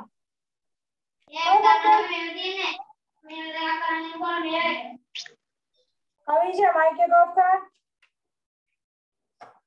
එතකොට මේ පැත්තෙන් හමන සුළං වලට කියන්නේ ඊසාන පැත්තෙන් හමන මේ ඊසානේ මම ලකුණු කරේ. ඊයන් විතර නෙවෙයි. ඊසාන පැත්තෙන් හමන සුළං ඊසාන දිග මෝසන් සුළං. අනිත් ඒවා මොනවද නීලක දිග සුළං ආ, නීලිත දිග නීලිත දිග. එතකොට නීලිත දිග පැත්තෙන් අමන සුළං නීලිත දිග මෝසන් සුළං. මේ පැත්තෙන් ආයි වයින්. දැන් නීලිත දිග මෝසන් සුළං වල ඊසාන දිග මෝසන් සුළං වලිනුයි දෙකෙන්ම වර්ෂාව ලැබෙන ඒරියා එක තමයි මෙන්න මේ ඒරියා එක. ඒරියා එකට එහෙම උත්සාහ මේ එහෙත් හරි වැස්ස මේ තෙව වෙන්නේ ඔන්න දැන් හරි. එතකොට තෙමෙන්නේ මේ ටික විතරයි. දැන් මේ ටිකට මොකද වෙන්නේ? වැස්සනේ. මේ හරියට අයිති හම්බන්තොට කතරගම. උත්තලම මන්නාරම. මන්නාරම ඒ හරිය අයිති. ඒ හැටි ඔයගොල්ලෝ ගිහින් තියෙනවද කතරගම ගිහින් තියෙනවද? ඒ දේවාලයට අපි යන්නේ. කතරගම, හම්බන්තොට, මන්නාරම. ඔය ගිහින් තියෙනවද? ජීවිතේට ගිහිල්ලා නැහැ. එහෙමද? කතරගම ගිහිල්ලා තියෙනවා. ආ කතරගම ගිහින් තියෙනවා. එතකොට ඒ හරි ගස් නැද්ද? තියෙනවා. තියෙනවා ගස් නැත්තේ යෝකෙරදී. එතකොට වැස්ස නෑ කියලා නෑ. හැබැයි වැස්ස ඉතාම අඩුයි. ඇයි ඉත දිග මොසන්සුලන් වලින් වයින්නෙත් නෑ ඊසාන දිග මොසන්සුලන් වලින් වයින්නෙත් නෑ මේ දෙක මග ඇරෙනවා මේ කොටස් දෙක. මග ඇරෙන නිසා මේ හරියට ඉතාම පොඩ්ඩයි වහින්නේ යන්තම් වහින්නේ. ඒ උනාට හැබැයි ශාක තියෙන. මොනේ තියෙන ගස් කියන බණ දැකපුවා? සියඹල හ්ම් හරියට හරි. කතරගම යනකොට සීයම්බලා සියඹලා ඩීනට ඇති සියඹලා ඩීජ ඇති වෙන්න තියෙන්නේ සීයම්බලා ඇත්ති වෙන්න තියෙනවා. සීයම්බලා ඊළඟට පතොක් වර්ග දැක්කද වැටවල් දිගේ පතොක් තියෙනවා. කටු පතොක් පතොක් වර්ග ආ අරලිය බෝගන්විලා ඔන්න ඔය වගේ කොහොම කොහොඹ මේ ප්‍රදේශවල හැදෙන. එතකොට දැන් ප්‍රශ්නේ තියෙන්නේ මේ ප්‍රදේශවලට ජලය ඉතාම අඩුයි. හැබැයි මේ ගස් මොකද කරන්නේ උත්සේදනයේ උත්සේදනයෙන් වතුර වාෂ්ප කරලා වාෂ්ප කරලා දානවා. උත්සේදනයෙන් ජලය වාෂ්ප කරලා දානවා. හැබැයි ඉතින් පොළවේ වතුර තියනවද? වඩාඩ ඕනේ වහින්නේ නෑනේ. වහින්නේ නැතුව කොයින්ද වතුර? පොළව අධික වියලි. හැබැයි ගස් හැදෙනවා. ගස් අමාරුවෙන් වතුර හොයා ගන්නවා මේ පැත්තේ. මේ පැත්තේ තියෙන ගස්. හරි අමාරුයි වතුර අපිට වගේ හම්බන්තොට ගම් වතුර දාන්නේ. කතරගමට ගම් වතුර දාන්නේ අපිට වගේ නෙවෙයි මේ වියලි කලාප ශුෂ්ක කලාපයේ තියෙන ගස් හරි අඩුයි. හැබැයි ඒ වුණාට ගස් තියෙනවා. මේ පොළවේ තියෙන ඉතාම සුළු ජල ප්‍රමාණයක් තියෙන මේ ගස් ඒවැ තියෙන ගස් අමාරුවෙන් මේ වතුර ටික උරා ගන්න. එතකොට අමාරුවෙන් උරාගත්ත වතුර ටික කිසිම අමාරුවක් නැතුව උත්සේදනයෙන් පිට කරලා දැම්මොත් මේ ගස් වලට මොකද වෙන්නේ? ගස් හැදෙන්නේ නැහැ නේද? වේයිලා යනවා. වේලේ ගස් හැදෙන්නේ වේලිලා යනවා. ඒ නිසා දැන් උදලා ගන්න ඕනේ. ඒ නිසා මේ පැතිවල තියෙන ශාක මේ පැතිවල දක්නට ලැබෙන ශාක මේ අමාරුවෙන් උරා ගන්න වතුර ටික පිරිමහ ගන්න පිරිමසා ගැනීම සඳහා නොයෙකුත් හැඩගැසීම් දක්වනවා. පිරිමා ගන්න එපා. දැන් අපිත් එමනේ ලයිට් ගිය දාට අපි මොකෝ වතුර ටික අම්මෝ හරි අමාරු අපි පිරිමහා ගන්නවානේ අනිත් දවස් වලට අපෝ ගාලා ඒ වගේ මේ ජලය ටික පිරිමහා ගන්න නොයෙකුත් උපක්‍රම දාලා තියෙනවා. ඒවට අපි කියනවා ශුෂ්ක රූපී අනුවර්තන කියලා. ශුෂ්ක කියන්නේ ඉතා වියලි. මේ වගේ තියෙන ගස්වල තියෙන හැඩගැසීම් ඒවට කියන්නේ ශුෂ්ක රූපී අනුවර්තන කියලා. මොකද්ද තියෙන හැඩගැසීම? අනේ වතුර නෑ. ඒ හින්දා තියෙන වතුර ටික පිරිමහා ගන්න තියෙන උපක්‍රම හැඩගැසීම් ඒවට කියන්නේ ශුෂ්ක රූපී අනුවර්තන කියලා. එහෙනම් ලියාගම මාතෘකාවක් ශුෂ්ක රූපී අනුවර්තන කියලා. ශුෂ්ක රූපී අනුවර්තන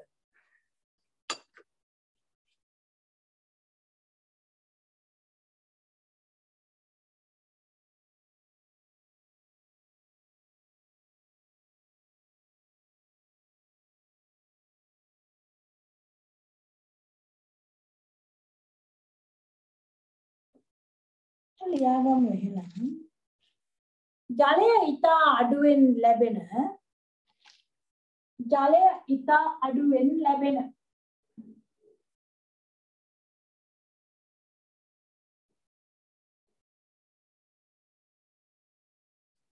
ප්‍රදේශ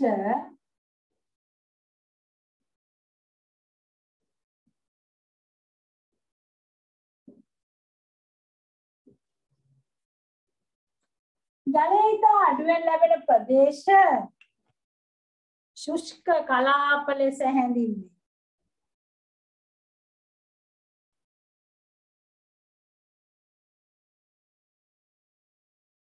ශුෂ්ක කලාප ලෙස හැඳින්වේ. මෙම ප්‍රදේශවල මෙම ප්‍රදේශවල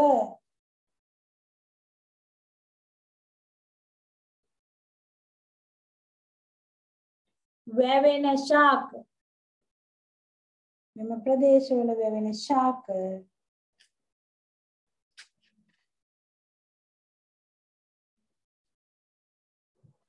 උත්සේදනය අවම කර ගැනීම සඳහා.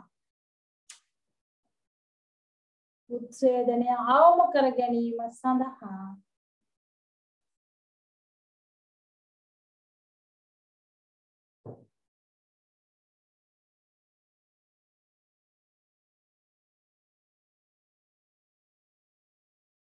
නොයෙකුත් හැඩ ගැසීම් දක්වයි. නොයෙකුත් හැඩ ගැසීම් දක්වයි.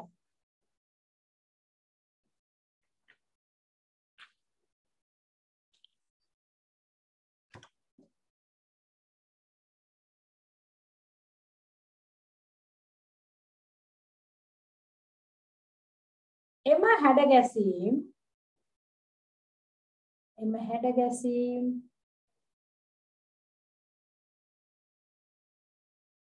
ශුෂ්ක රූපී අනුවර්තන ලෙස හැඳින්වේ.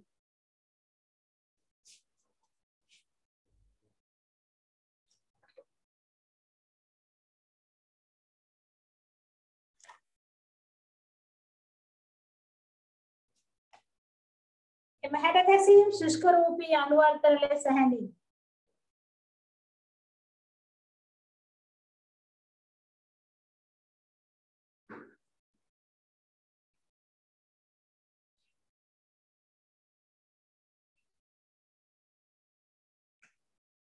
දැන් එක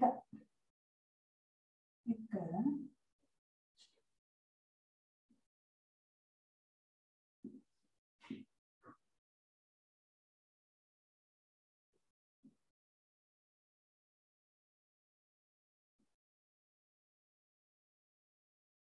එක පත්‍ර කටු බවට පත් වේ. පත්‍ර කටු බවට පත්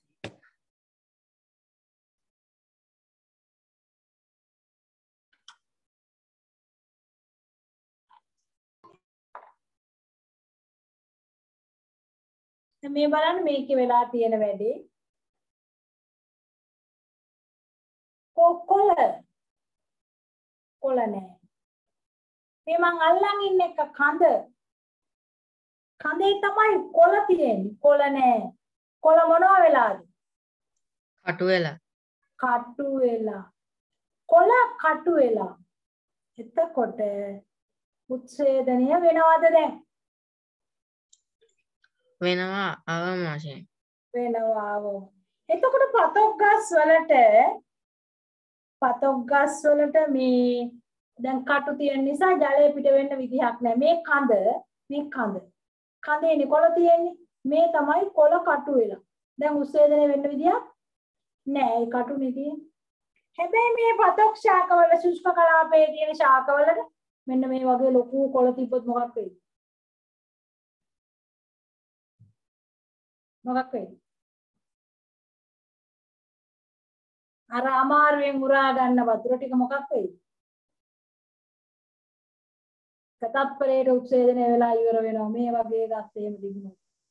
ඒ නිසා මේ බලන්න කටු වෙලා දැන් වතුර ටික උරා ගන්න ටික පිට කරන්න විදියක් නෑ ඒ කටු නිදි කොළ තිබ්බොත් උච්ඡේදනය වෙන්නේ. ඒ හින්දා මේ ගස් වල කටු තියෙනවා. එතකොට උදාහරණ පත්‍ර කටු බවට පත් වෙලා උදාහරණ ලියා ගමු. උදාහරණ මොකද්ද මේවට කියන්නේ ඔයගොල්ලෝ? පතොක් පතොක්. උදාහරණ පතොක්. අපි මෙතන ලියන උදාහරණයක්. උදාහරණ පතු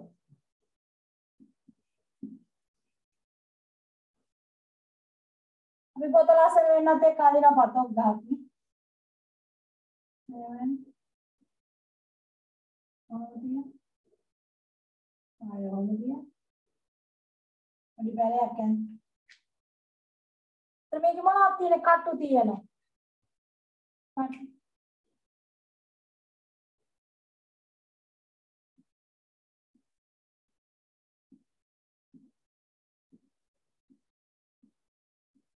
කොළ නැහැ.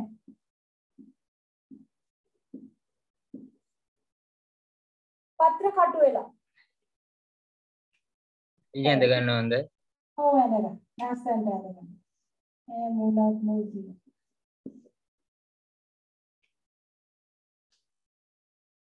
පත්‍ර කටු බවට පත් වෙලා.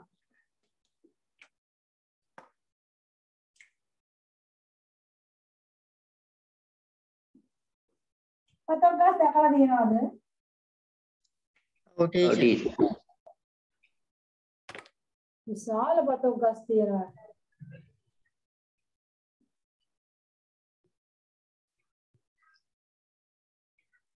මම ඉස්සර ගිහලා දැක්ක ලොකු පතක් ගහ ඉස්සර කියන කාන්තාරාටත් මේ ලොකු පතක් ගහක් තියෙනවා මේ මේ ඉස්කෝලේ බිල්ඩින් වල විතර උසයි පතක් ගහ ළමයි ඉන්ටර්වල් එකට හැවරට ඉන්නේ පතක් ගහයට. ඔන්න ඉතාලගෙන පතක් ගහේ සයිස් එක. කොළයක් මේ හරි විශාල වෙනවා අපේ කොට්ටම්බ කොළ වගේ ලොකු කොළ නෙවෙයි කඳ. මේවා නිකන් ම්, කොට්ටම්බ කොළයක් වගේ ලොකු කඳ. එතකොට පතෝ. අපි දෙවෙනි උදාහරණය බලමු. ගඳගත්තා හරි.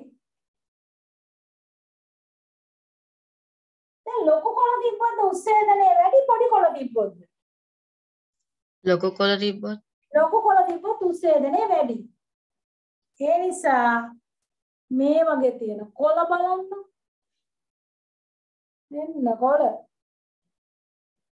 මුළු ගහේ තියෙන කොළ ටික ඔක්කොම එකතු කරා. කොළ එක කොස් කොළයක වර්ග බලයවත් නැහැ. මොනේ මේ જાතිය?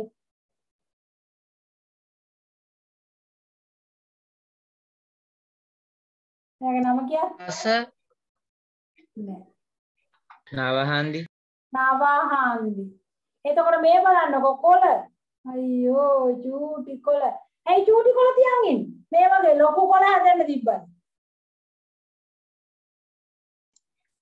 ඇයි චූටි කොළ තියෙන්නේ?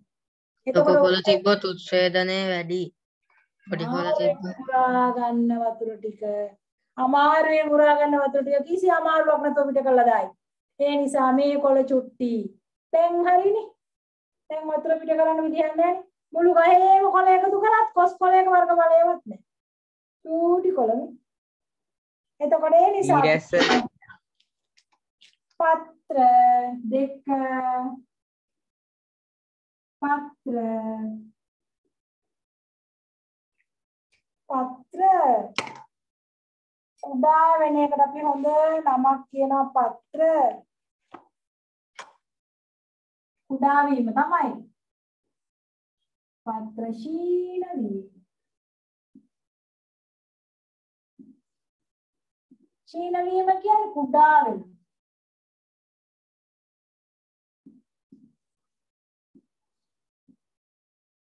තව මේ පෙන්නන්නම් පත්‍ර කුඩා වෙච්ච එකක් මේ බලන්නකෝ.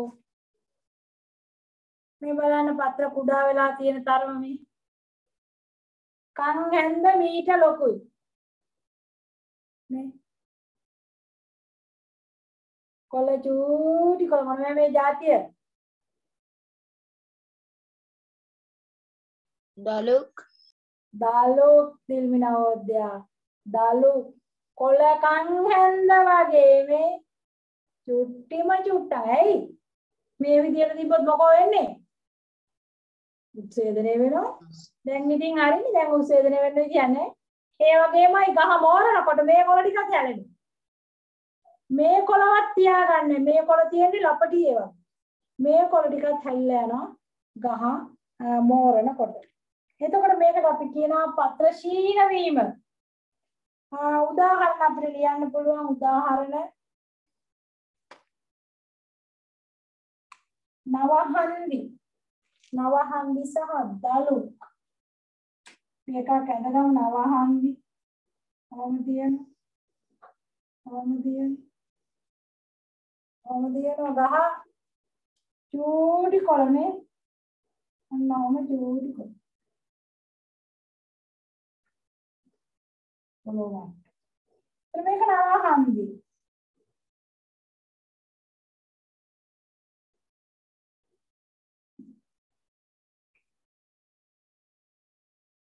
දලුක් ගත්තොත්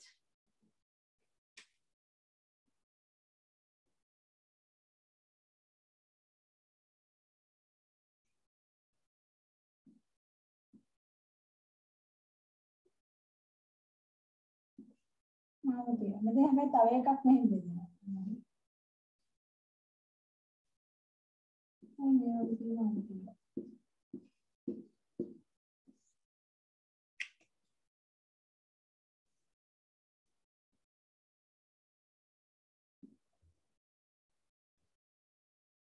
නවහන්දි දලුක්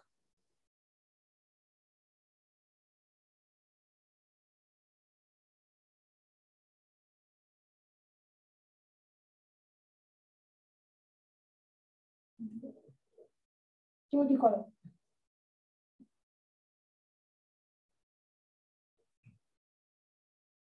නවහන්දි සහ දලුක් මේ බෙදලා බෙදලා ගිහින් තියෙනවා මම දැන් පෙන්නුවේ එක තාම කුඩායි කොළ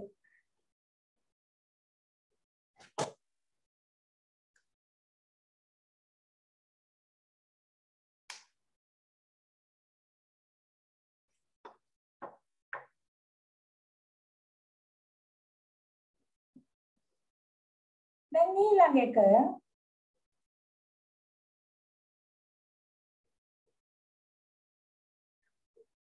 මාසල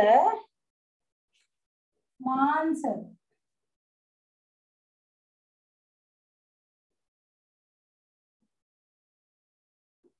මාංශල කියන්නේ මස් වගේ.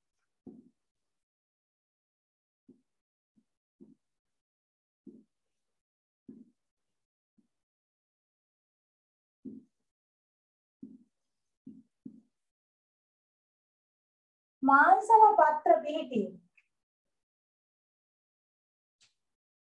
මාංශල පත්‍ර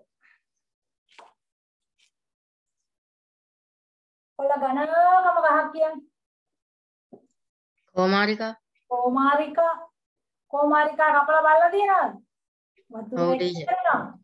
කවතුර වෙක්කන මොකද ජලය ගබඩා කරන පත්‍ර තියෙන. තව જાතියක් මේ මේවා. අක්කපාන. මේ කොළ හරි ඝනකමයි හේතුව මේක ජලය ගබඩා වෙලා තියෙනවා. ඒක සාමාන්‍ය ශාක පත්‍රයකට සාපේක්ෂව මේ අනිත් ගස්වල කොළ මේ මේ අනිත් සාමාන්‍ය ගස්වල කොළ මේ අක්කපාන ගහේ කොළ. එතන මොනවද මේ ජලයේ ගබඩා වෙලා තියෙනවා? කෝමාරිකා සහ අක්කපාන. මාංශල පත්‍ර පිහිටීම කෝමාරිකා තව එකක් අක්කපාන.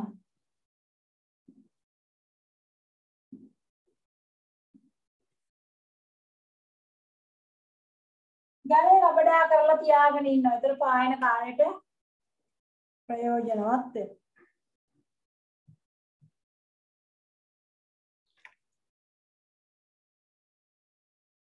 ඊළඟට තව එකක්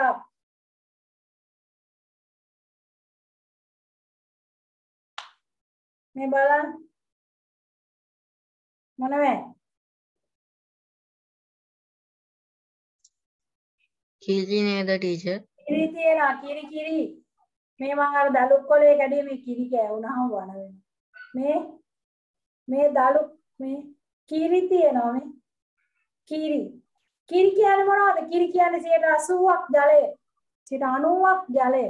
එහෙනම් කිරි තියනවා කියන්නේ මොනවද? ගබඩා කරලා තියාගන්න ජලය ජලය ගබඩා කරලා තියාගන්න. ඊළඟ නම්බරේ හතර. හතර. හතර. ශීරය. ශීරය කියන්නේ කිරි. ක්ෂීරය කියන්නේ කිරි. අපි මොන සත්තුද? ශීලපායි. ක්ෂීරපායි. පොඩි කාලේ කිරි බීලා වැඩන හින්දා. ක්ෂීරය තිබීම උදාහරණ දලු පතොක් ඒ වගේ කිරි තියෙන. කිරි කියන්නේ 80ක් 90ක් ජලය.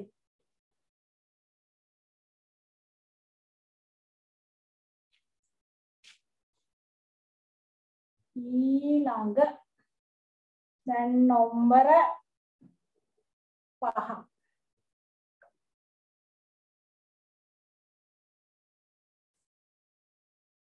නම්බර පහ වියලි කාලවලදී වියලි කාලවලදී පත්‍ර රෝල් වීම පත්‍ර රෝල් වෙන ගහක් කියන්නේ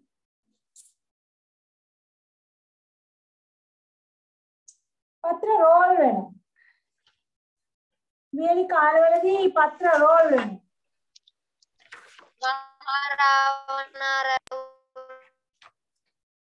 මොනවා පත්‍ර රෝල් වෙනවා කියන්නේ ඔන්නෝම ඔන්නෝම ඔන්නෝම.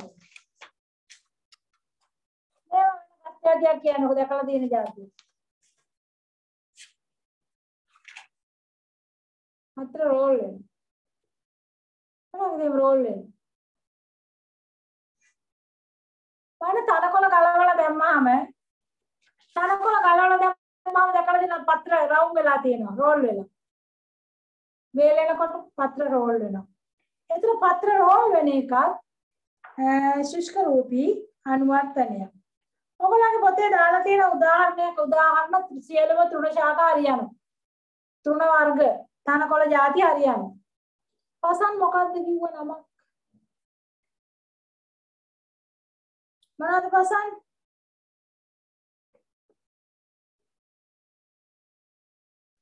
මොනවද පසන් කිව්වේ? මහා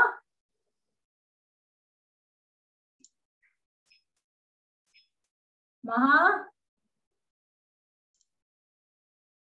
රාවණා රැවුල්. මහා රාවණා රැවුල. මහා රාවණා රැවුල කියලා කියන්නේ රෝල් වෙන ගස් జాතියක් කියලා පොතේ තියෙනවා. මේ මහා රාවණා රැවුල.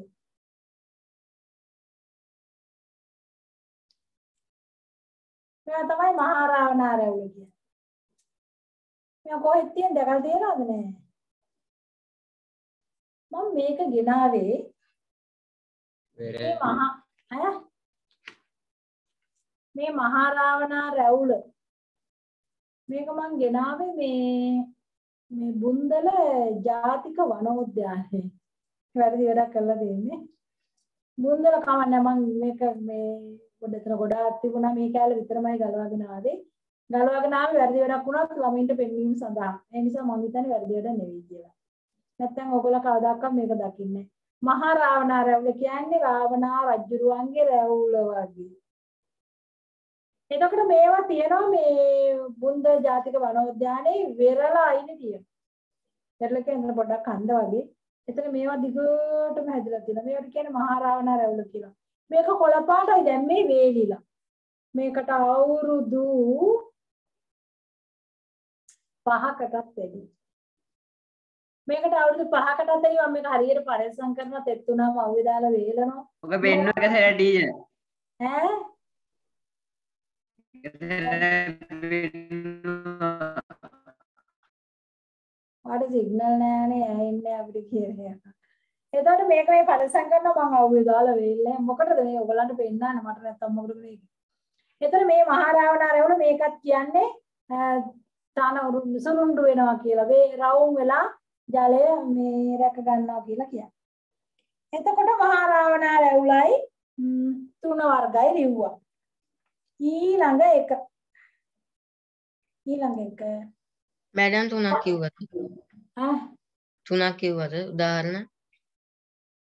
මහා රාවණා රැවුලයි තෘණ වර්ගයි. හරි. ඊළඟ. වායව කොටස් වල වායව කොටස් අපි ඉස්සෙල්ලම ලකුණු කරා. වායව කොටස් වල ඝන උච්චර්ම පිහිටීම වායව කොටස් වල ඝන උච්චර්ම පිහිටීම අරලිය. අරලිය. උදාහරණ අරලිය.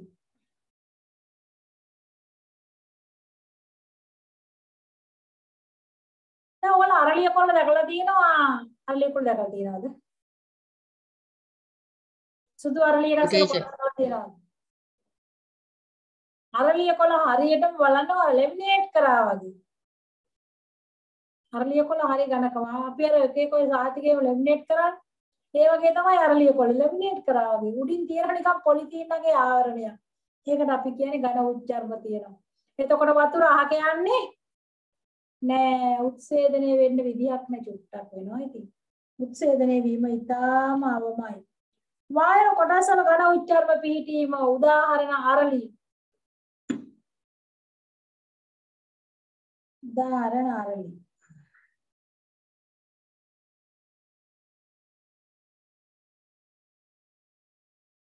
ඊළඟ පත්‍ර මත බූව පිහිටීම. බූව තියෙන ඒවා කියන්නේ පත්‍ර මත බූව පිහිටීම.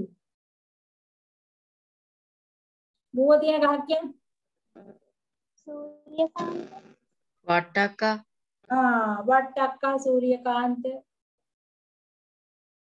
වට්ටක ගෙදර වැලක් තියෙනවා නම් බලන්න කොළයක බූව තියෙනවද කියලා.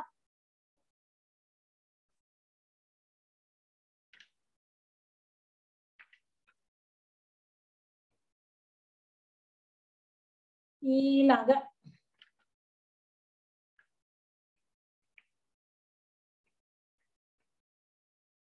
ඊළඟ වියලි කාලවලදී පත්‍ර හැලී යාම. ඔන්න දැන් මේ දවස්වල හැලෙනවා. හැලෙන්න පටන් අරන්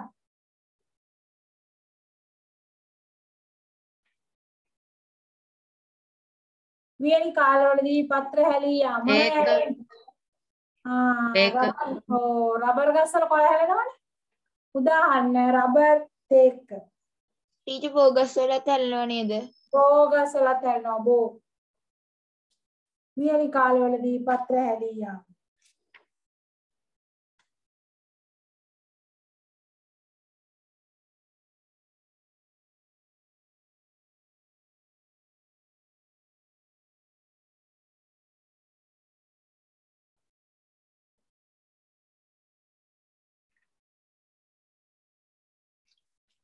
එතන මේ දැන් මේ කොළවල මේ චූටි සිදුරු જાතියක් තියෙනවා ඒවට මොනවද කියන්නේ? දන්නවා. ඌටිකා පූටිකා. ඒ පූටිකා වලින් තමයි මේ වතුර පිට වෙන්නේ. උත්සේදනය වෙන්නේ පූටිකා කියන සිදුරු වලින්. එතකොට මේ පූටිකා කියන සිදුරු සමහර ශාකවල තියෙන හැටි බලන්න.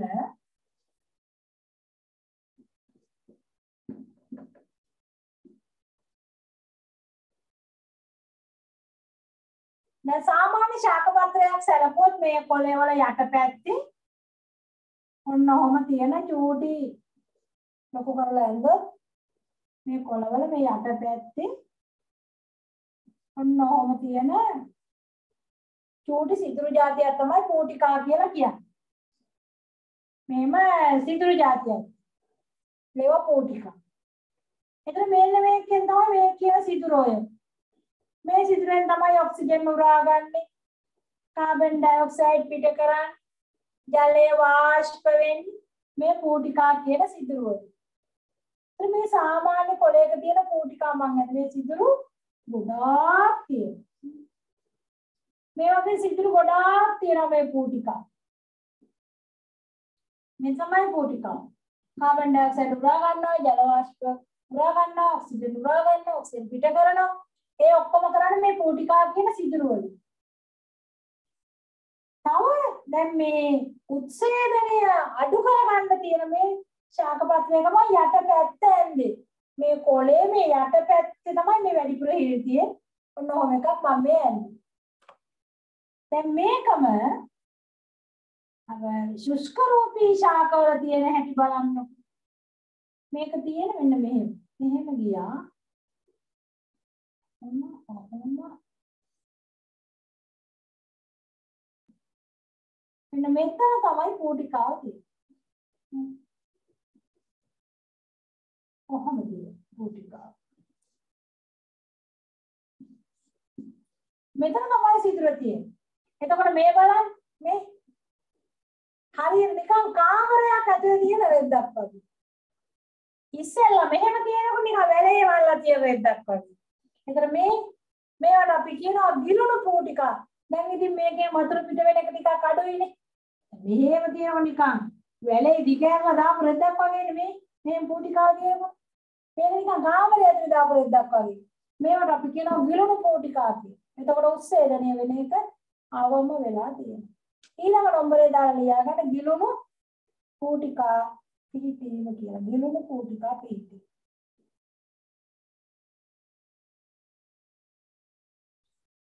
උදාහරණ උදාහරණ. කණේරු. උදාහරණ කණේරු.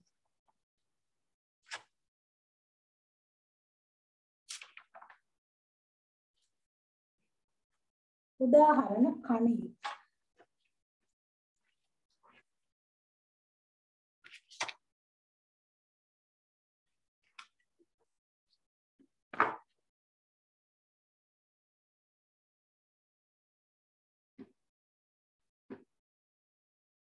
බලමු 59 තියෙන ප්‍රශ්නයක් එකක් බලමුකෝ.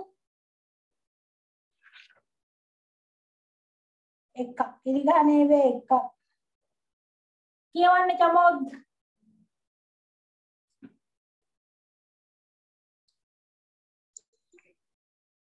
උච්ඡේදනය පිළිබඳව ශිෂ්‍යයෙකු විසින් ලියන ලද ප්‍රකාශ තුනක් පහත දැක්වේ.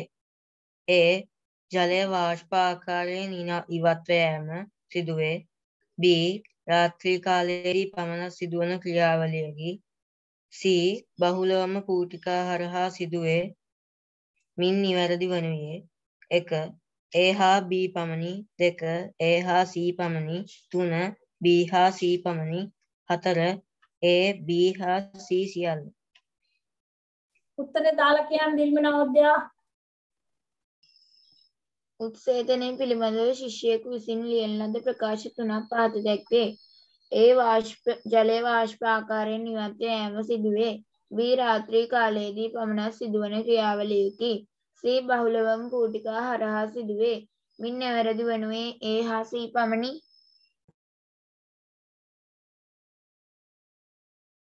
ඒ හා C පමණි රාත්‍රී කාලයේදී පමණක් නෙවෙයි උස්සේදනය වැඩිපුර වෙන්නේ කොයි වෙලාවටද දවල් කාලේ දවල්ට දවල්ට ඒ හා C පමණි අපිට තව එකක් කරන්න පුළුවන්. එහා පිටුවේ තියෙන 60 කියවන්නේ ඖෂධි කවිශ්මා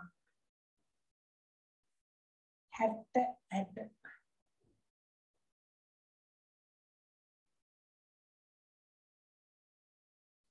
ආ යශාරා සයාදි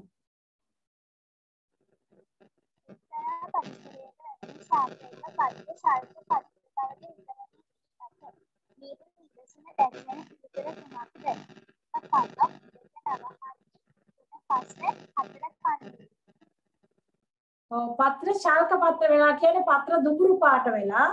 ඒකට උදාහරණය කස්ස. ඊළඟට කරමු ටික ටික දික් වෙනවානේ.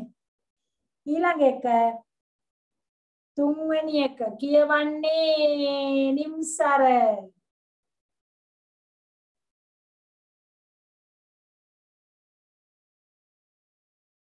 කියවන්නේ තිසර ගීත්. රූපයේ දැක්වෙන ඇටෝම ශාකයක කුමන ජ- ජීව ක්‍රියාවලියක් ආදර්ශනය කිරීමට භාවිත කරයිද? එක ප්‍රභාසංශ්ලේෂණය දෙක ස්කන්ධ ප්‍රවාහනය ස්කන්ධ ප්‍රවාහය තුන ආශතිය හතර උස්වේ- උත්ස්වේදනය. උත්තරේ දාලා කියන කවිෂ කිම්මහන්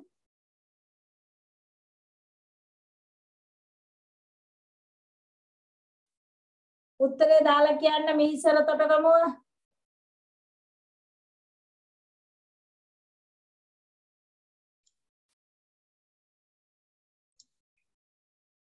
උත්තරේ දාලා කියන්න රවින්දු තේජන රූපය දැක්වෙන ඇටුම ශාකයක කුමන ජීව ක්‍රියාවලියක් ආදර්ශනය කිරීමට භාවිතා කරයිද හතර උත්සේදනය හරියට හරි. ඉරිගාන් ප්‍රශ්න තුනක් කතා කරා තව කීපයක් ඉතුරු වුණා. එහෙනම් නවත්තන්නයි හදන්නේ. ආ ප්‍රශ්න අහනවද මොනවත් නැහැ. නෑනේ. ටීචර් අපි? ශල්ක බවට පත්වන එක උදා මේ ලිව්වේ නෑ නේද? ඔව් ඒක අතන ඉරිගානකේ තියෙන හින්දා මම ලිව්වේ නෑ. ඉරිගානකේ තියෙනවනේ ඒක ලියවෙනවනේ ඔයගොල්ලන්ට. පත්‍ර ශාල්ක බවට පත්වන එක කස්ස. ඒක අතන ප්‍රශ්නෙන් උත්තරේට ලියවෙන නිසා කතා කරේ නෑ. ඒක දෙසරයක් කියන්න ඕනේ නෑනේ. එක සැරයක් කිව්වම ඇති නැද්ද ජමු. ආ එහෙනම් නැවැත්තුවා අයිබෝවන්. ආයුබෝවන් ටීචර්. අයිබෝවන් ටීචර් අයිබෝවන් good night. good night teacher. good night. good night teacher good night.